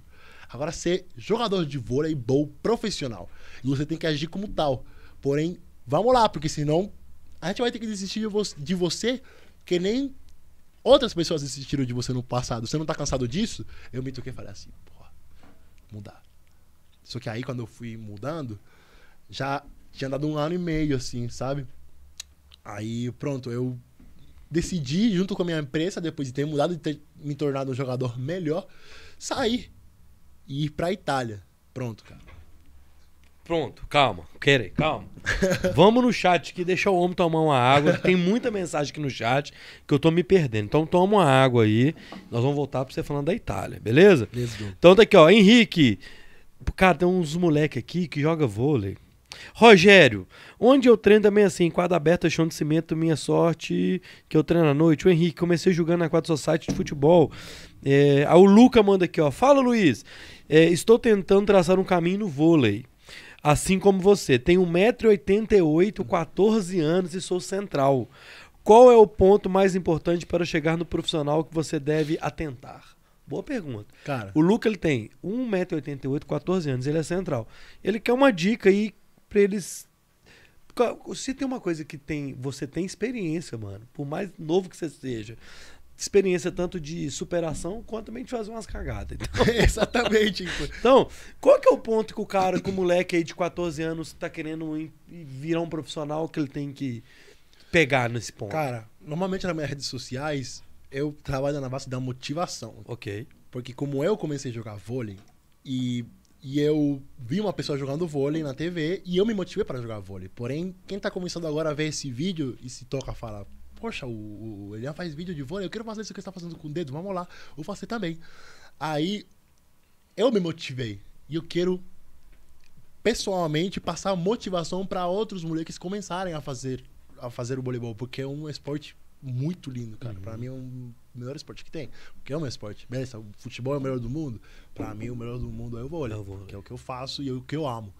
E uma coisa que eu acredito que tem que ter um atleta novo que tá começando agora é dedicação, inspiração e sobretudo motivação. Você tem que achar um espelho. Você tá começando agora, você tem que achar um espelho. Quem que eu gosto que joga é Simão. Hum, Simão. Simão faz o quê? Simão joga roda a bola no dedo, então vou fazer igual. Simão roda a bola pra cá pra um. Vou rodar a bola pra um. Simão roda a bola pra cinco. Passou na cinco, vou rodar a bola pra cinco. Você tem que ter um espelho. Você tem que se espelhar em uma pessoa que vai te guiar até você chegar perto dela. E um dia você jogar contra ela, que foi o que aconteceu comigo. Porém, você tem que ter isso. Tem que se inspirar em alguém. Você já tem que pegar alguém como espelho. Você tá ligado que, por exemplo, o próprio Luca, talvez, ou essa molecada que tá aqui, tem você já como espelho, mano? Cara, Você isso tem pra essa mim, noção, velho? isso pra mim é uma conquista. Isso pra mim é uma conquista, cara. Eu comecei muito, muito, mas muito embaixo. Você já te falei uma boa parte da minha história. E, cara, uma das coisas que fizeram diferença pra mim foi isso. E hoje em dia eu tá me vendo que eu sou o espelho deles. Isso pra mim, tipo, cara, já me peguei chorando, tipo, vendo mensagem de seguidor, sabe? Seguidor Me falando, cara, eu comecei o vôlei hoje por você. Você fez com que eu falasse pra minha mãe que eu, gostasse, que eu gostava de vôlei e eu começasse a jogar. Você, cara, hoje à tarde fez o exercício que você passou lá no vídeo e, eu, e deu certo. A bola caiu, o treinador me parabenizou. Quero te dar parabéns e quero te desejar, uma boa temporada. Pais falando: Ô meu filho, ele tá se inspirando em você pra fazer, pra fazer vídeo também e pra jogar vôlei. Tipo, eu tô adorando isso. Muito bem, continua assim, não muda não. A galera, cara, e eu, cara, Isso é muito louco. emocionalmente eu posso ter duas, dois metros, ser legal, mas emocionalmente eu sou muito fraco, cara. Sou extremamente fraco. Já que você é fraco, tem uma mensagem especial aqui. Ai, ai, ai, ai, ai. Não, não sei não, hein? Leonor Caridad Mazona Vai- Vailan. Minha mãe. Mi, hijo mío, que linda estás. Ô, ô, dona Leonor, um beijo, minha filha. Um beijo pra você aí, ó. Está falando de mim, ela falou aqui. Manda um beijo pra sua mãe que ela tá assistindo a Mami, gente. eu tô aí. Agora eu vou falar em espanhol só para ela, para ela me entender. Mami, eu estou aqui falando de ti porque realmente hiciste a diferença toda na minha carreira e eu te amo e te juro que dentro de pouco nós vamos, sa- nós vamos saber porque tem muito tempo lá que tem, tem tempinho já que eu não vejo ela. A última vez que eu vi ela foi quando eu saí daqui do Brasil, 2019. Aham, Eu não vejo a minha mãe tem dois anos e meio Dois já. anos e meio. E pra mim é difícil até hoje, mesmo que eu tenha crescido e, tipo, ficado mais maduro, tipo, lidar com isso, sabe? Tipo, minha mãe longe de mim e tudo mais, tipo, é difícil. E quero desejar-te que uma boa recuperação para tu rodilha, porque ela, ela teve um problema né, no joelho, Ah, que ela limpa, tipo, assim, as casas, assim, porque para procurar um salário extra. Ela é enfermeira, ela saiu da enfermaria para poder viajar comigo para cá, pro Brasil, em 2019. porque senão o governo não liberava ela. Mas se ela tem um aluguel em casa e ela é manicure. Aí ela Uhum. mais ou menos consegue tirar uma, uma graninha. A mais, né? E eu mando dinheiro pra ela. Todo mês eu mando E dinheiro você pra pode mandar é, é, é pelo governo mesmo. ela. Eu mando dinheiro É pra uma conta que o governo sabe que você tá mandando. Sim, eu. Sim, porque eu mando pro meu tio, meu tio manda pra ela. Ok. Entendeu? Porque meu tio tem uma conta que, como ele tem. Porque em Europa é mais aberto isso. Aqui, pra você mandar dinheiro pra Cuba é muito difícil. Eu até hoje ah, tá. Achei. A Western Juniors mandava Aham. e o bloqueio dos Estados Unidos proibiu. Tipo, não o bloqueio em si, mas foi abolido, tipo, não tem mais. Mas aí como é que seu tio faz pra mandar da Europa pra Não, lá? é, aí meu tio manda naquele cartãozinho lá daquelas lojas que só pode comprar quem tem família fora. Ah, porque ele é de... Entendi. É, ele é de fora. Aí ele manda pra, pro cartão dele em, dó- em euro, vira dólar, e ela compra com esse cartão. Caramba. E eu mando, tipo assim, eu tiro do meu salário, mando pra ela e meu tio manda pra ela. Mas de chegar ao meu tio, tipo, quando- antes Entendi. de chegar no meu tio, eu perdi, perde de, Já perde, é. Vai De- perdendo aquilo lá. perde de imposto. De, É. de, de, Espanha pra lá, perde ainda mais. É, é, vai perdendo. é. Aí pronto, eu mando pra ela, pra meu tio, pela Western Juniors, e meu tio manda pra ela. É sempre assim que a gente faz pra Uhum. ajudar ela. Até eu conseguir mandar ela pra meu, meu tio, tá perto lá, é, querer morar na Espanha, Alicante. Aí vai, vai ser legal. Que legal. Mas ela tava fazendo isso aí de limpar casas e tal, e ela quebrou o pé, que ela caiu da escada. Ela quebrou o joelho e agora eu quero trazer minha mãe pra cá, pro Brasil de novo, pra primeiramente ver ela e pra tentar fazer, tentar fazer não, fazer a cirurgia dela, porque lá em Cuba a medicina é boa, mas hospitais não tem uma higiene muito boa alguns. É. Entendeu? Aí é complicado. Aí eu quero que ela faça aqui. Porque aqui assim eu vou estar controlando isso Sim. e eu vou. E é difícil pra liberar dela vir?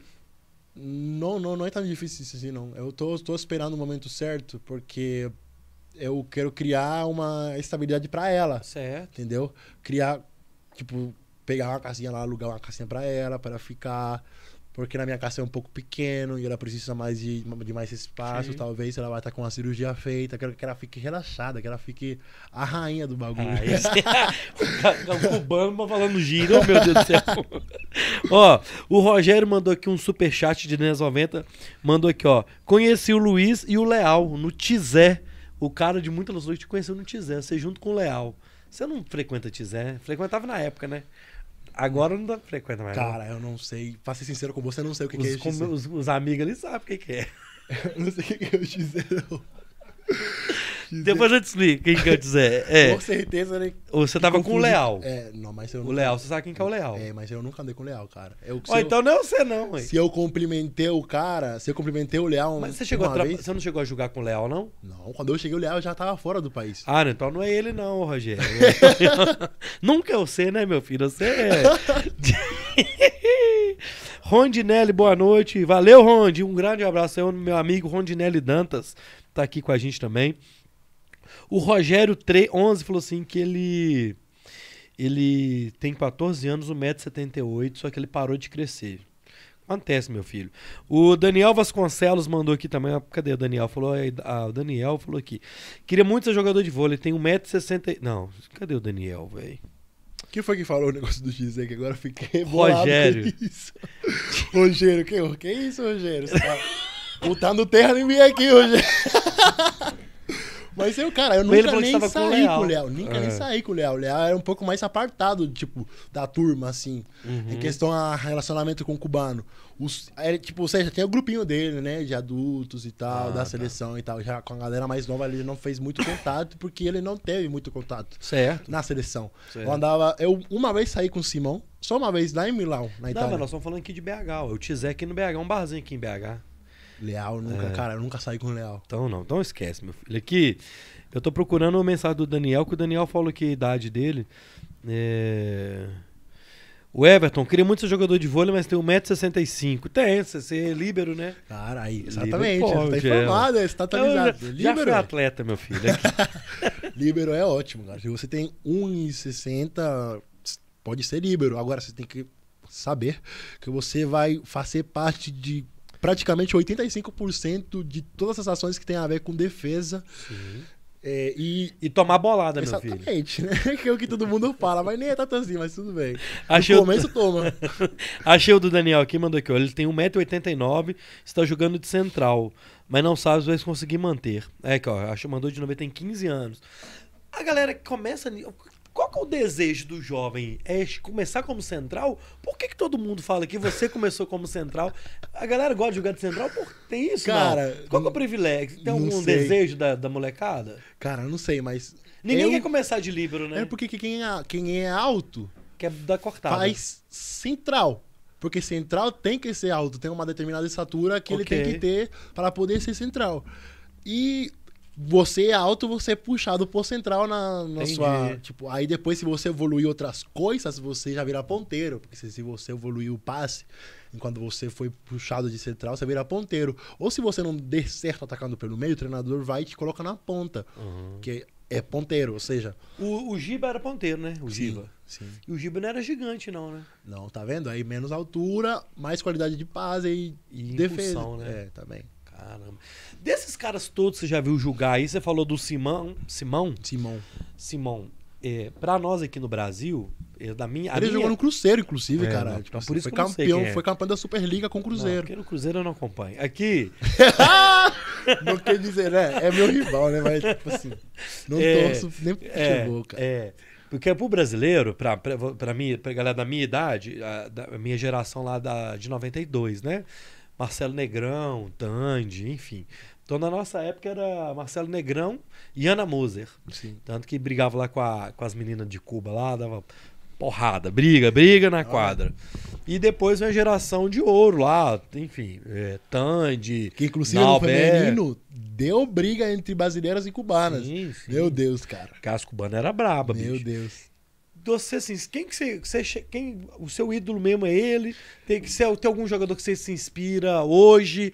Tem algum cara que você, que você vê hoje, pô, esse cara é legal, porque você é novo pra Cara, caramba. boa ainda. pergunta. Então, Ah, como eu era central, como eu era central, e depois eu virei ponteiro, eu falei, poxa, seria uma boa trocar de ídolo, né?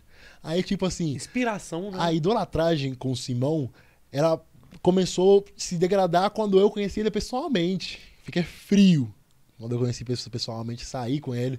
O meu empresário, tendo ele, utilizou ele como um incentivo pra mim, marcou um prazo, marcou um jantar com ele. Quando eu cheguei lá, eu tava frio, cara. Falei assim, almoçar com o Simão. Vou almoçar com uma pessoa que me fez me motivar pra jogar Aham. vôlei sem querer, que o cara nem falou, o cara só girou a bola na TV assim. Eu vi e quis jogar. Tipo assim, ele não sabe, tipo assim, mas aí comecei a falar com ele e tal, aí comecei a me soltar e tal. E depois daquele negócio aí de se degradando, tipo assim, ele continua sendo e sempre vai ser pra mim um Claro. dos melhores jogadores do mundo. E ele tem meu respeito, já me ajudou, já ajudou minha mãe. Eu tinha que mandar um telefone pra minha mãe e eu dei pra ele, sendo que eu não podia mandar por aqui, porque por aqui não tem CDX que chega a Cuba pra mandar telefone. Chega lá, a, tipo assim, a, o negócio lá que controla as coisas que chega lá, Correio, falar, correio. não- falar não, não pode entrar e fica, ou joga fora ou bom, devolve. Aí eu não podia, eu não posso mandar. Que Essa é viagem, outra, né? velho. É Cuba. Cuba. Mas beleza, eu falei, mano, preciso mandar o telefone pra minha mãe, Simon. Me ajuda aqui, velho. Ele tava indo em Cuba, porque ele, po- ele pode voltar em Cuba. Eu não sei se, se eu consigo voltar, por causa de que eu não passei o serviço militar. No país. É um, é um serviço militar obrigatório. Você tem que passar. Você ele- tinha que ter voltado pra passar lá. É. Só que ia perder dois anos da minha carreira. Uhum. Não sei fazer nada. Só, só fazendo curso militar. Assim, se eu estivesse na seleção, eu ia fazer só 45 dias. Mas como eu não tô na seleção, se eu voltar, muito provavelmente que eles me falem. Vamos fazer serviço militar. Entendeu? É, você não vai voltar. Não sei, né? Um dia pretendo, cara. Não sei. Até porque, pô, o país onde eu nasci, meus amigos Pô, tá lá. você os voltar lá agora não, amigos- né? Agora não, agora não. Mas, Mas eu- como é que ela tá assistindo a gente? Internet é liberado? cara, eu pago a internet pra ela. Senão ela não ia conseguir falar, nem falar comigo, inclusive. Mas é caro? Tipo, quanto Muito. que Cara, uma hora é um, é um, é um 4 reais. É? Caramba, velho. Tipo assim, É, uma hora. é. Uma, é por hora, tipo assim, entre aspas. Você vai comprando os planinhos ali que o. Que, o, que tem só uma operadora telefônica. Você vai comprando os planinhos aí Caralho, que. velho, isso é muito distante pra nós, né, mano? Cara, é totalmente o contrário do que todo mundo aqui tá acostumado a viver. Isso é muito distante, mano. Eu me tô lembrando de quando a gente ligava pro ficha e tal. É tipo isso. É um trem É bizarro. osso. Muito osso. Que viagem. Beleza, vamos pra gente, nosso papo render. Você foi pra Itália. Como que foi ir pra Itália? Como é que foi viver na Itália? E como que é o voleibol da Itália? Cara, Perguntas difíceis hoje. que, que, tipo assim, que choque de realidade. Totalmente diferente de novo. É Eu- Europa, né, mano? Cara, eu lembro que tinha outros jogadores lá que também me espelhavam. Jogadores cubanos me espelhavam no Simão, no Leão, no Leal, inclusive, que Uhum. o Rogério tocou ali o ponto. No Leal também me Você ia pro barzinho com ele? Rogério, Rogério, eu vou te chamar depois pra gente conversar pessoalmente. Mas É. pronto, tipo, cara, eu, eu lá na Itália, eu lembro que tinha uns jogadores que eu admirava demais. Um deles, Ivan Zaisev, é, Micah Christensen, Matt Anderson, é, Caramba. são jogadores, cara, que eu falava, mano, o dia que eu jogar com esses caras, eu vou. Eu fiz a, fiz a minha vida. E, cara, eu, quando eu. Tipo assim, eu lembro que eu entrei o primeiro dia, eu falei, não, tudo, tudo diferente, tudo, tudo. Absolutamente tudo. Tudo. Tipo assim, prédio gigantesco, caça de gente milionária, tipo, isso na avenida que eu passava, Ferrari, Lamborghini passando na Mas você rua. foi pra Modena. Modena, a cidade da Ferrari. Caramba. O Enzo Ferrari morou lá por um tempo, o filho dele atualmente acho que mora lá. Ah. A fábrica da Ferrari tá lá. Eu fui pessoalmente, cara, tipo assim, tem todas as Ferraris que existiram. É outro mundo, né? Todos os modelos de Ferrari que existiram né, no mundo, tipo assim. Ah, Tem o escritório do Enzo E Ferrari. ganhar em euro é bom também, né? Muito bom, muito bom. Mas eu fui lá e eu vi o Ivan Zaisev no corredor assim. E eu me arrepiei todo. De novo, cara, olha quanta. Que paradoxo tipo, de vida. Ou seja, que repetição assim de, de ciclos de vida. Minha vida é um ciclo que se repete cada, e cada vez que ele dá uma volta, ele dá uma volta maior. E essa volta pra mim foi ma- muito grande. E hoje pra mim tentar no- hoje para mim estar hoje no time que eu saí quando eu era reserva, porque eu quando eu tava no Minas em 2019, em 2017 eu era reserva. Eu não era titular do adulto. Eu tava na base do Minas, Uhum. que é diferente. Sim. A mim voltar num time que eu saí porque eu tive problemas de disciplina e voltar de novo ali era Pra mim agora tá sendo um círculo gigantesco.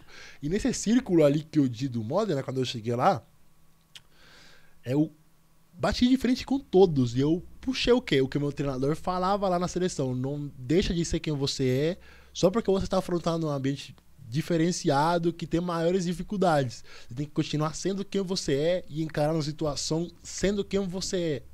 Nunca mudando a sua ideologia. De Uhum. gritar, de dar o máximo, de falar que eu quero mais e quando acabar o treino fazer mais, tudo isso. Eu puxei tudo isso para aquela etapa da minha vida. Eu me entreguei total.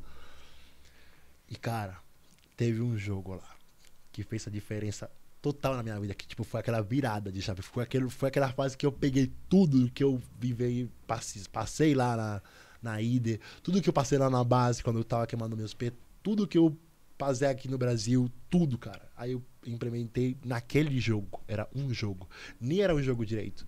Era eu entrei, eu era reserva lá.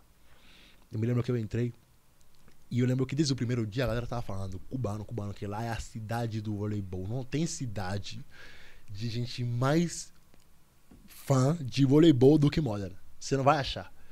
Eu sentava assim no bar e falava, vocês perderam, amanhã, vocês perderam ontem por quê? Você tá doido? É igual futebol aqui, ué. Assim, igual, igu- exatamente É. igual. E eu me lembro que desde o primeiro dia, cara, tava tendo todo, todo mundo rumorando, tipo assim, sempre foi assim, porra, ele vai entrar quando? Ele vai entrar quando? Ele vai entrar quando? Expectativa, né? E o treinador de Modena naquele então, atualmente é o treinador de Modena, porque isso tem um ano e meio. Aham. Era o treinador, é o treinador da França atualmente. A França foi campeão olímpico. Ou seja, um treinador formador de atletas que tava ali comigo pra me formar. E ele falou: Você tá pronto agora? Vou te botar. Eu falei: O quê? Vou te botar. Mano, eu entrei. Eu lembro que eu pisei. Tipo, saí do quadrinho que todo mundo fica. Tipo assim, todo mundo naquele. Tipo, tinha ao redor de umas 12 mil pessoas. Cara, não teve uma, uma pessoa que ficou sentada. Todo mundo ficou em pé, começou a aplaudir, começou a gritar. Ah. Mano, tipo assim, sabe quando você entra em êxtase? Você fala, ah, pô, sou o rei, pá, sou o rei do mundo. Você fala, porra. Mano, eu tava tão nervoso, mas tão nervoso, que eu entrei e aqueci o ombro, o ombro esquerdo. Eu sou, eu sou direito. Eu aqueci a canhota, comecei a fazer assim com a canhota. No vídeo, inclusive, aparece, cara. Eu aquecendo a canhota. E eu, tipo assim, lembro que eu falei, cara, caralho, que isso, cara? Por que, que eles estão gritando assim? O que, que eu fiz? Eu tava lá no Minas, na base, e agora eu chego aqui todo mundo gritando. E o fisioterapeuta pega meu braço assim pra piorar a situação. O fisioterapeuta do time fala assim: Véi, eu tô aqui trabalhando há 12 anos. E eu nunca vi o Palapanini ficar desse jeito. Que o nome do ginásio é o Palapanini. Nunca vi o Palapanini.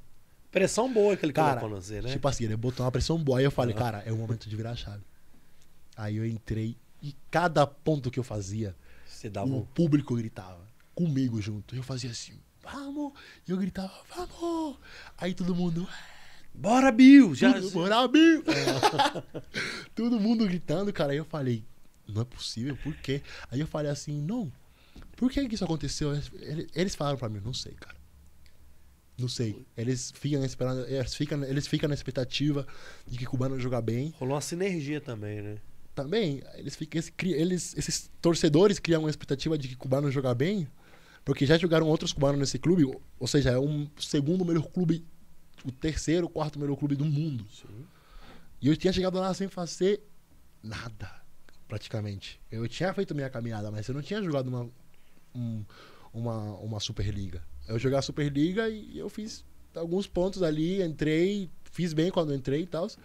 E eu tava lá, cara, num- no quarto, terceiro melhor time, no melhor time da, no segundo melhor time da Itália e no quarto do mundo. E eu falei, que isso que eu tô fazendo aqui?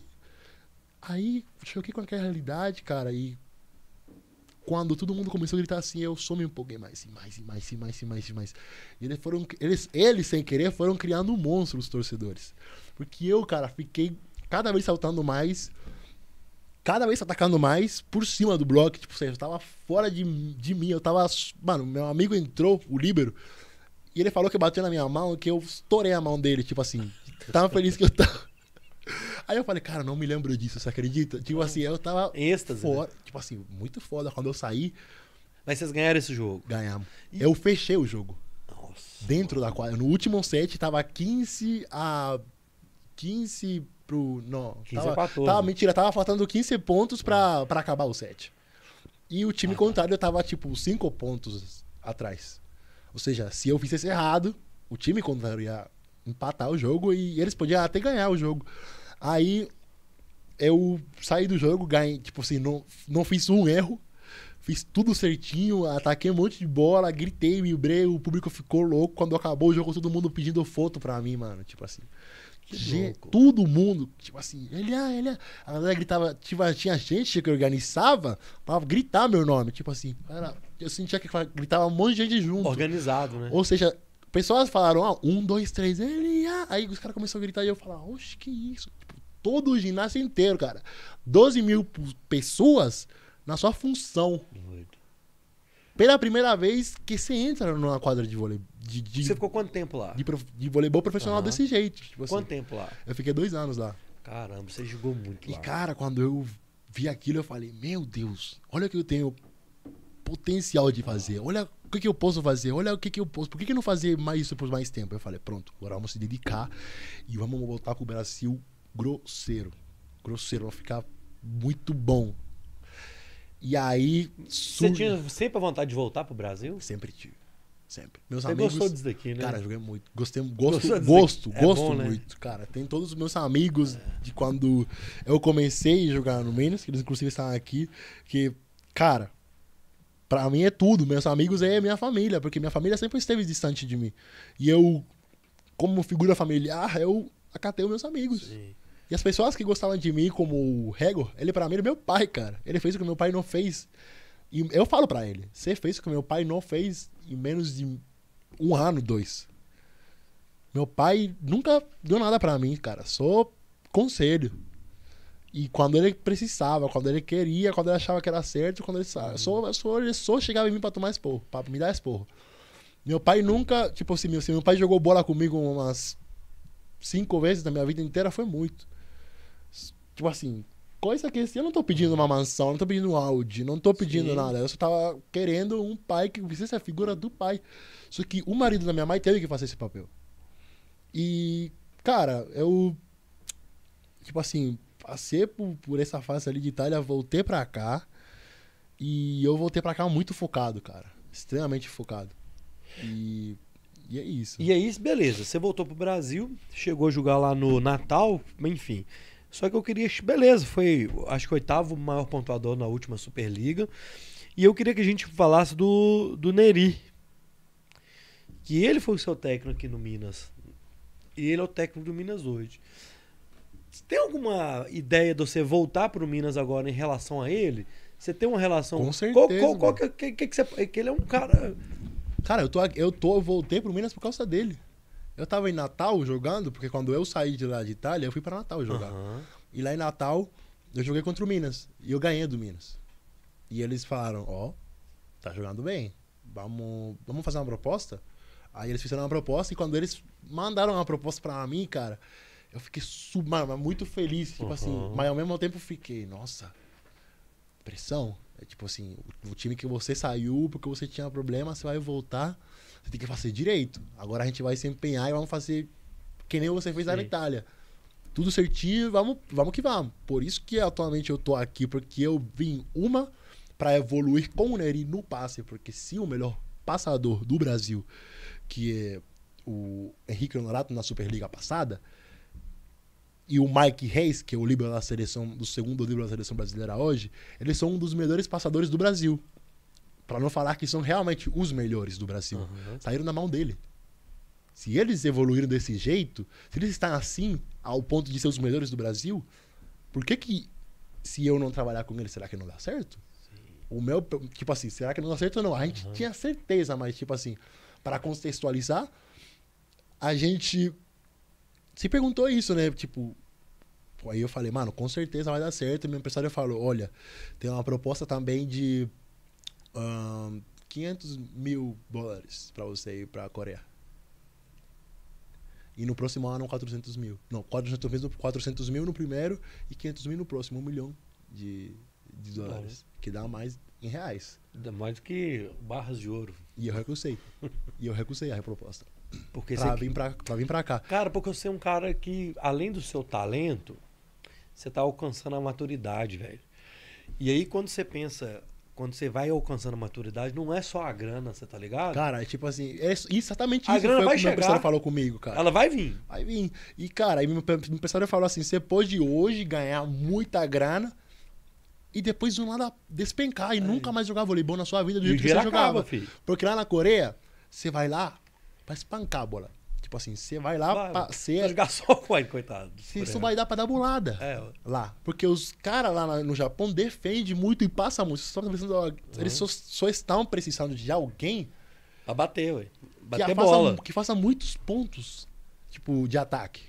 E, claramente, eles chamam cubanos, chamam pessoas que são boas no ataque.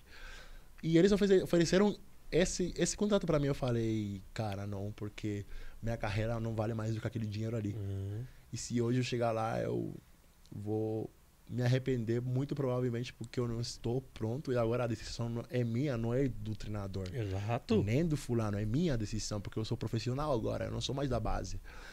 E se eu não estiver ciente da, do que eu vou escolher, eu vou me arrepender.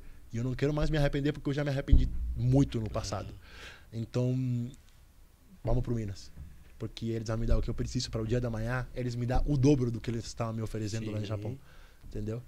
E eu falei isso com o meu empresário, ele falou isso comigo, ele me deu o maior palpite. Ou seja, acho que eu sozinho também, sozinho, sozinho, sozinho. Tipo assim, por exemplo, se o meu empresário me falasse, vocês três aqui sabem escolher qual. Talvez eu teria escolhido o Minas com certeza. Uhum. Mas não com tanta clareza depois de que ele deu esse palpite. Falou, acho que o Minas vai te dar maior integridade no seu futuro como jogador de voleibol. Pô, isso é doido. doido. E você tá com uns presentes aí Cara, que nós vamos lá, disso, nós falou e não me entregou meus presentes. Vamos lá, Cara, meu filho. isso ó, aqui- agradecer aí, ó, agradecer a galera do Minas aí, ó.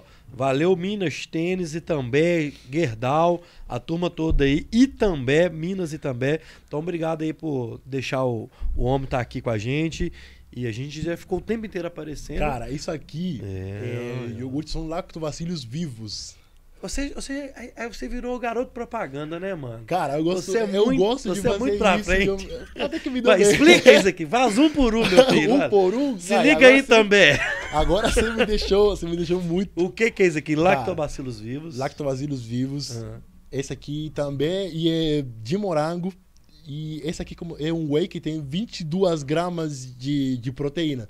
Então, se acabou o seu treino, isso aqui fica muito bem pro café da manhã. Ou seja, você pegar uma garrafinha que é até barata no mercado. Aham. E no café da manhã, com uma toadinha com um pão e um presunto e um queijo, fica ótimo. Ótimo. Tô precisando. E é, Obrigado. E é dica. saudável também, cara. Ótimo. E se acabou seu treino da tarde, você não precisa comprar e comprar o whey que hoje tá caríssimo no Exato. mercado. Você pode comprar o podzinho, esse, esse você pode comprar o esse aqui daí também. E sai ver. muito até mais barato, sai, sai- é muito econômico, cara. Você, é só colocar o negócio e 22 beber. gramas de proteína por unidade. Zero lactose, sem adição de açúcar. Sempre quando eu termino o treino, eu bebo um desse.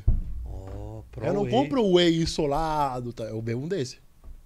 Porque é muito. Pra um atleta, Boa. cara, tipo assim, você tem uma vida corrida, você tem que colocar, pegar meio que share, a, negócio do, e colocar o whey, colocar o whey, colocar água, bater. Aí não, tá tudo pronto lá. Boa, boa, Só hein? colocar e beber. Ainda não tem lactose, hein, galera? Ó. Exatamente. Então, oi também. Manda mais pra nós aí, minha filha. Obrigado, ó, top. Deixa lá, volta lá do lado do seu lá pra ficar até o final lá. Ótimo. a turma toda ver. E aqui a camiseta. Segundo presente Aí é sim. a nova. Posso abrir pra você ou você vai Por abrir? favor. Não, faz esse É- favor pra mim. É a nova linha da marca, da marca da minha marca, né? Ele Jump, em colaboração com a Anacal. Né? É, a Anacal é um meu atual parceiro atualmente de, de- das minhas peças de, de roupa que eu tô lançando agora, Ó, da L Jump. E aqui aparece? Parece? Aqui, esse aqui Ah lá, é, na cal, é a, nova, a nova linha da L Jump com material dry fit, Boa, mano. muito confortável, ou seja, Bom que você já e mandou a GG. muito bonita também. Pra você, cara. Obrigado, viu, meu irmão? Pô. Aí, ó, Roger, ó. Pô, já mandou, foi logo a GG já. Aí vai mesmo, hein, mano. Top, top mesmo. Eu acho ela muito bonita. Pô, Ainda, ainda eu vou fazer algumas modíficas nessa marca, porque essa marca tem tem tem quanto tempo? Tem um mês que eu um mês e meio que eu fiz essa marca. E eu falei, cara, por que não fazer uma marca e chamar como parceiro a Nacal? Porque a Nacal fez parte do ano passado, enquanto eu tava jogando em, em Natal, eles Aham. eram os patrocinadores da Blues. Eu falei, cara, já que eu trabalhei com eles uma vez indiretamente, então vamos trabalhar de novo. E, cara, deu muito bom. E eu gostei muito do resultado. eh, vou disponibilizar as vendas amanhã, inclusive Opa! aproveitando para falar isso. Amanhã é, as vendas vão ser liberadas, não vão ser pelo site, eu mesmo vou administrar tudo e vai ser pelo direct. Se alguém quiser comprar, se alguém quiser garantir a, de- a sua, tem em todos os tamanhos e é só mandar mensagem no direct falando, só tem esse modelo por enquanto, Aham. falando o seu tamanho, o seu endereço e tudo mais e a blusa vai chegar em você em- em dias. Então amanhã chama ele lá, minha filha. É. Boa, boa. Ó, vamos lá aqui no chat. A Fátima mandou aqui. Show de bola o chat. É, o Daniel falou que estava no Minas sábado. Te viu treinando, mas não conseguiu tirar uma foto. Ô, Daniel, fala que ele. Ô, ô. Elian, te vi no Bora. Que ele vai identificar. Na próxima vez você tira a foto com ele. A Leonor mandou mais uma mensagem aqui. Me alegra ver-te como. De... Ah, eu não vou falar espanhol Te aqui, amo, não, né? mami, te amo! Ela está muito feliz para ver como é que você está falando o português tão bem. Tá te mandando é, uma benção aí, beleza? É, Pra minha mãe, pra É. mim é minha irmã, cara. Tipo assim, a gente. Ela me Boa. ensinou a dançar, ela me ensinou a fazer tanta É. coisa. É. Camila Silva, simplesmente uma montanha russa de experiências, é isso. E aí, bicho, você tá aí fazendo a propaganda muito bem daí também, da Illy Jump. De onde surgiu a rede social? De onde Cara. surgiu de gravar os vídeos, de. de sei lá, é porque além de você ensinar, é divertido. Você é um cara. Você liga o seu sotaque de uma forma engraçada. Você de falar algumas coisas meio errado, você leva isso na boa. É o meu. E eu acho que é legal isso, assim. Sim. Você não se leva a sério demais. Não, cara, eu vi a vida com total E leveza. Como é que chegou essa ideia de você gravar vídeo, velho, pra Cara, eu já fazia vídeo no passado, desde que eu cheguei aqui, que eu tive mais contato com a internet. Eu aprendi é, a falar português por youtubers, por youtubers. Ou seja, eu olhando vídeo de por exemplo, Whindersson Nunes, Whindersson Nunes Aham. Júlio Cucielo, é, Canal Canalha, esses canais assim, aí eu aprendi a gíria e o português. Pode crer. Infelizmente, aprendi a gíria também, porque os caras param a gíria.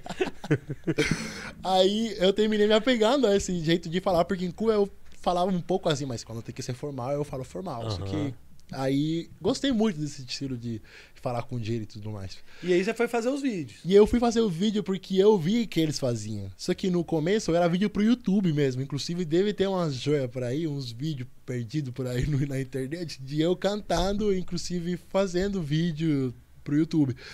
Aí isso começou. Eles, tipo, no Minas comecei a receber reclamações por causa disso. Não é legal que um jogador de vôlei faça vídeo assim, você tem que se dedicar o tempo, você não tá focado no que você tá fazendo. Aí eu parei de fazer vídeo no YouTube, que realmente demandava mais tempo no YouTube, porque são mais Aham. mais tempo, mais, tipo, maior tempo de edição, maior tempo de produção. E aí eu falei, vou optar pelo Instagram e eu vou postar vídeos meus jogando voleibol. Aí talvez dê certo. Aí eles Boa. Não reclamaram mais, tipo, vocês não falaram, não, tipo assim, isso aí não vai te tirar do foco. Falaram, não, muito bom, ele o vídeo que você postou de vôlei. E quando eles falavam para mim atualmente, eles falam, poxa, Elian, muito obrigado por ter feito vôlei com a base dos times que vieram jogar a Copa Minas. Pra mim isso é, é, foi muito bom, os moleques ficaram muito felizes. Tipo assim, isso agora pra mim mudou de patamar, porque agora eu uso o meu trabalho pra motivar outras pessoas. Cara, é, essa molecada toda que tá assistindo a gente que vem, vem para dos vídeos, velho. E, cara, aí eu comecei no Instagram soltar vídeos de eu atacando normal. Sou eu fazia, como era, eu era bom com edição, porque lá em Cuba eu tinha um grupo de gente que dançava comigo e eu de- tinha que editar as danças que a gente gravava. E eu já sabia. Aí eu peguei meus vídeos de vôlei, comecei a editar, colocar um pouquinho de slow motion, Uhum. um pouquinho, umas músicas iradas. E começou a dar certo, os vídeos bateu milhões, inclusive. O primeiro vídeo que viralizou, eu lembro que é um vídeo que eu tenho lá na arena do Minas, que eu jogo a bola pra cima de toque, aí eu saio correndo atrás da bola, a bola quica no chão, eu vou e ataco. E esse vídeo viralizou, ficou muito famoso esse vídeo. Acho que foi o vídeo que me deu a, é a virada. E depois disso foi na Itália. Na Itália peguei muito seguidor na Itália. Porque lá na Itália a mídia é muito Aham. boa por causa de que os, os torcedores precisam disso. Aí comecei a levar mais a sério quando eu cheguei em Natal. Aí em Natal, nas feiras, eu estava sem nada pra fazer assim. E eu falei, cara, eu vou fazer uns videozinhos aqui, vamos ver se dá certo. Aí, pronto, comecei a fazer os vídeos ali, fa- fazendo isso aqui e isso aqui. Aí a galera começou a ficar louca com esses vídeos. Tipo assim, começou a bombar e tal. E eu comecei a postar mais vídeo diferente e tal. Aí eu falei, ah, não vou parar nunca mais, vou postar todo dia. Isso é muito doido, velho. Não para, não, é, não para. É claro que, né, a prioridade é o treinamento, os jogos, mas é muito legal porque você traz a base, velho. A molecada quer ver, porque a molecada só quer consumir dancinha no TikTok. Na hora que chega uma parada dessa, a galera vê, velho. Isso implementa pra vida da pessoa. tipo assim, claro. Um- Claro, patamar claro. profissional pode até, tipo, mudar a tua vida, inclusive. Sim, claro. Você gosta de, é, de música nacional aqui do, do Brasil? É, eu vi que você gosta do MC Pose, você gosta do. O que, que você gosta do Brasil aqui? O que, que Cara, você, Cara, que que tipo você assim, curte, assim, de eu, música, de. eu faço música, né? Ah. Tem o meu canal no Spotify, se você procurar lá, Luiz Elian, vai aparecer o meu, o meu canal no Spotify. Eu tenho várias músicas lá, ou seja, desde que eu comecei a minha Que carreira. tipo de música? Eu faço trap, faço reggaeton, Ah, faz faço o- Ah, R&B, faço acústico também, inclusive, faço vários gêneros. Porque lá em Cuba, Mas quando tipo o quê? Tipo, você canta ou você toca? Como, como é que é? eu vou no estúdio e eu faço é mixagem e Ah. masterização de áudio. Ou Pode seja, eu faço, eu, eu- ou seja, eu quero, eu falo pro DJ, eu preciso de um beat, assim desse jeito. Eu preciso de uma de um free pra fazer tal som, que tem tal melodia. Aí ele vai e faz o, o beat. Aí eu vou e canto em cima desse beat.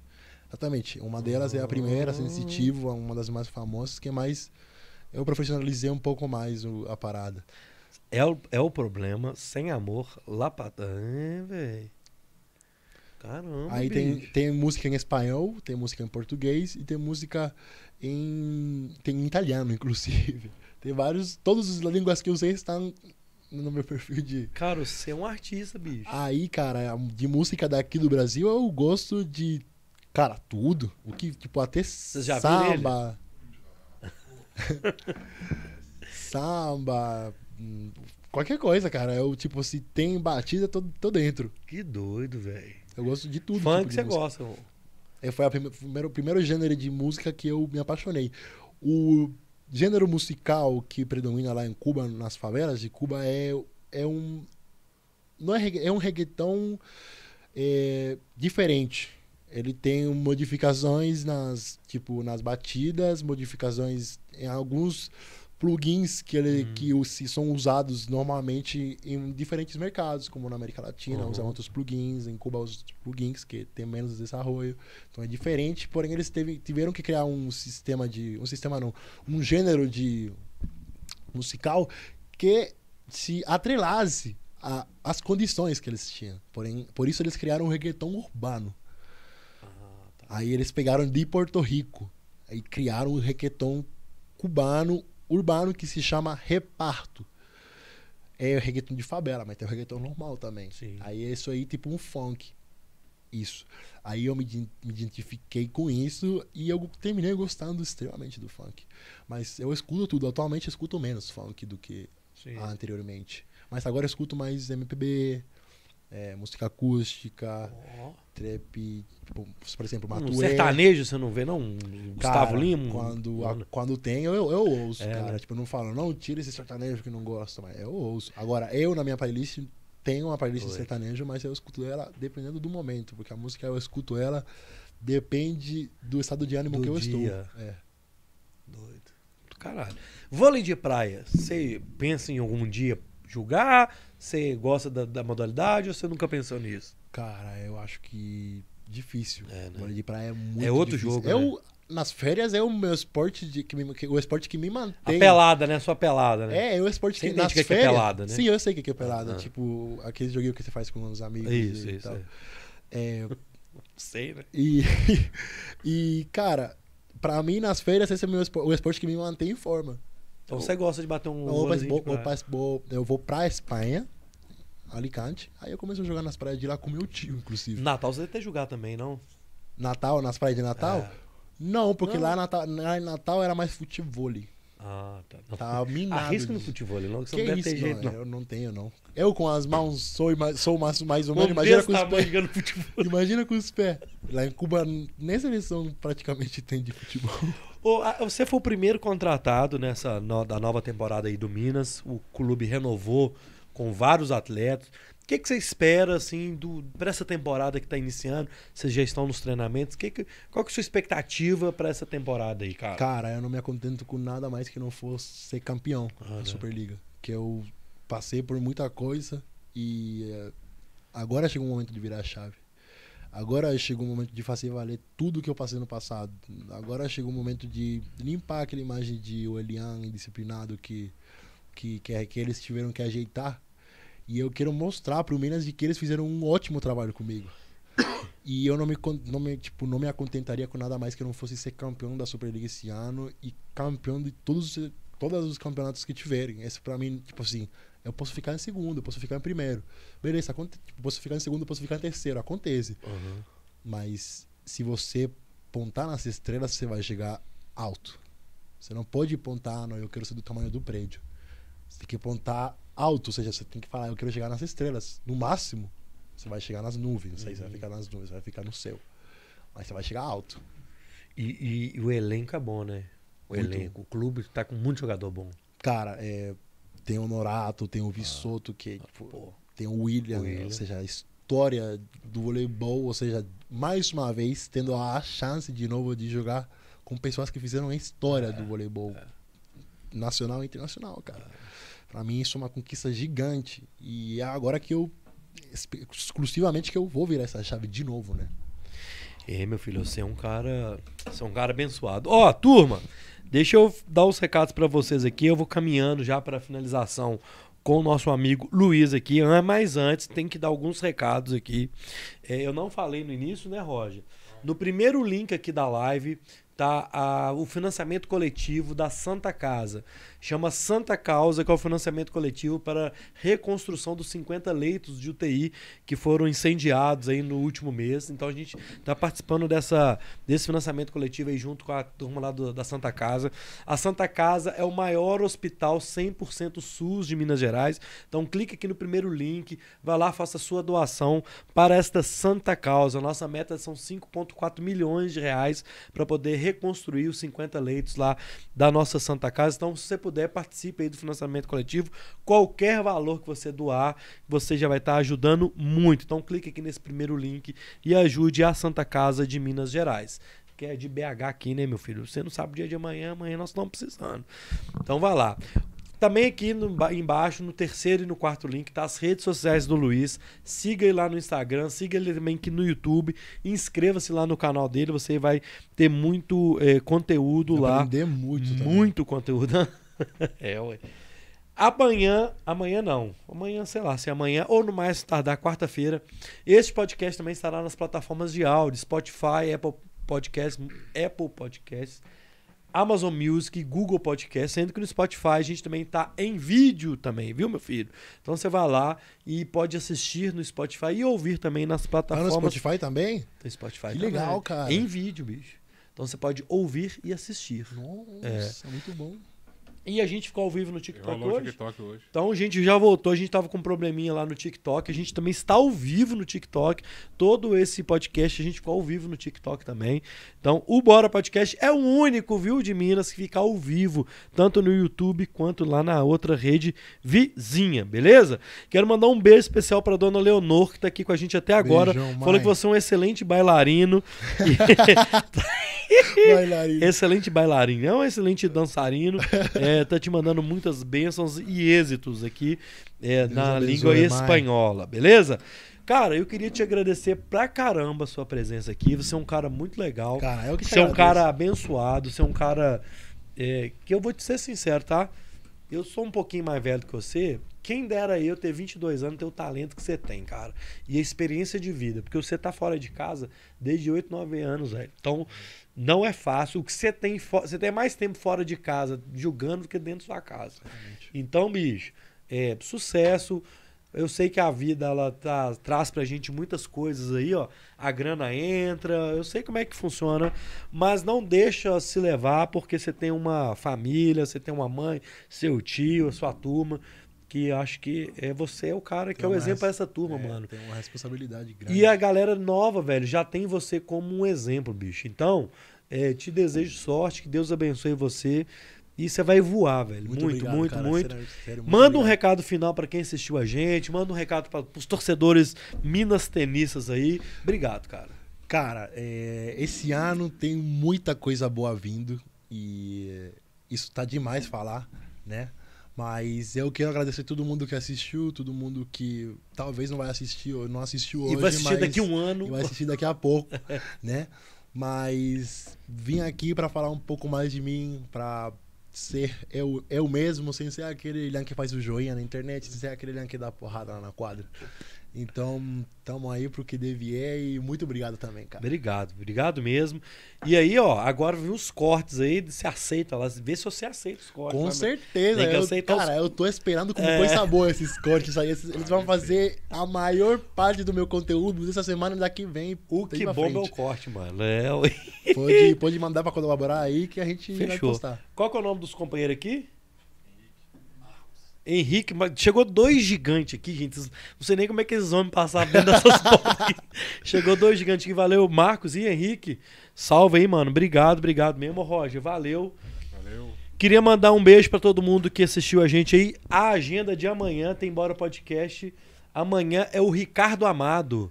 Bruno Matos e Ricardo Amado vai estar aqui. Você não sabe quem que é o Ricardo Amado, não, Não, né? ele é- Da 98. Ah, da 90. É o- da...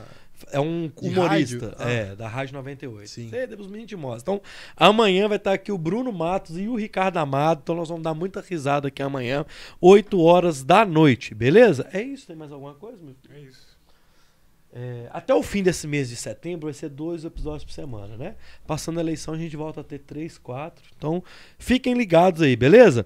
O Rogério tá aqui, Rogério 11. Espero mais podcasts assim. A Leonor, um beijo. Camilo, um beijo. Daniel, Henrique, Um beijo a pra Fátima. todo mundo aí que mandou mensagem. Um beijo chat. todo mundo. O Everton aqui, ó, que eu não tinha falado o nome dele. Cara, se tem alguém aqui que eu não citei o nome, vocês me desculpem, mas é isso, beleza? Fiquem com Deus. Esse foi o Bora número 157. De vejo vocês amanhã. Mano, valeu. Tamo junto. Tamo junto. Valeu, Roger.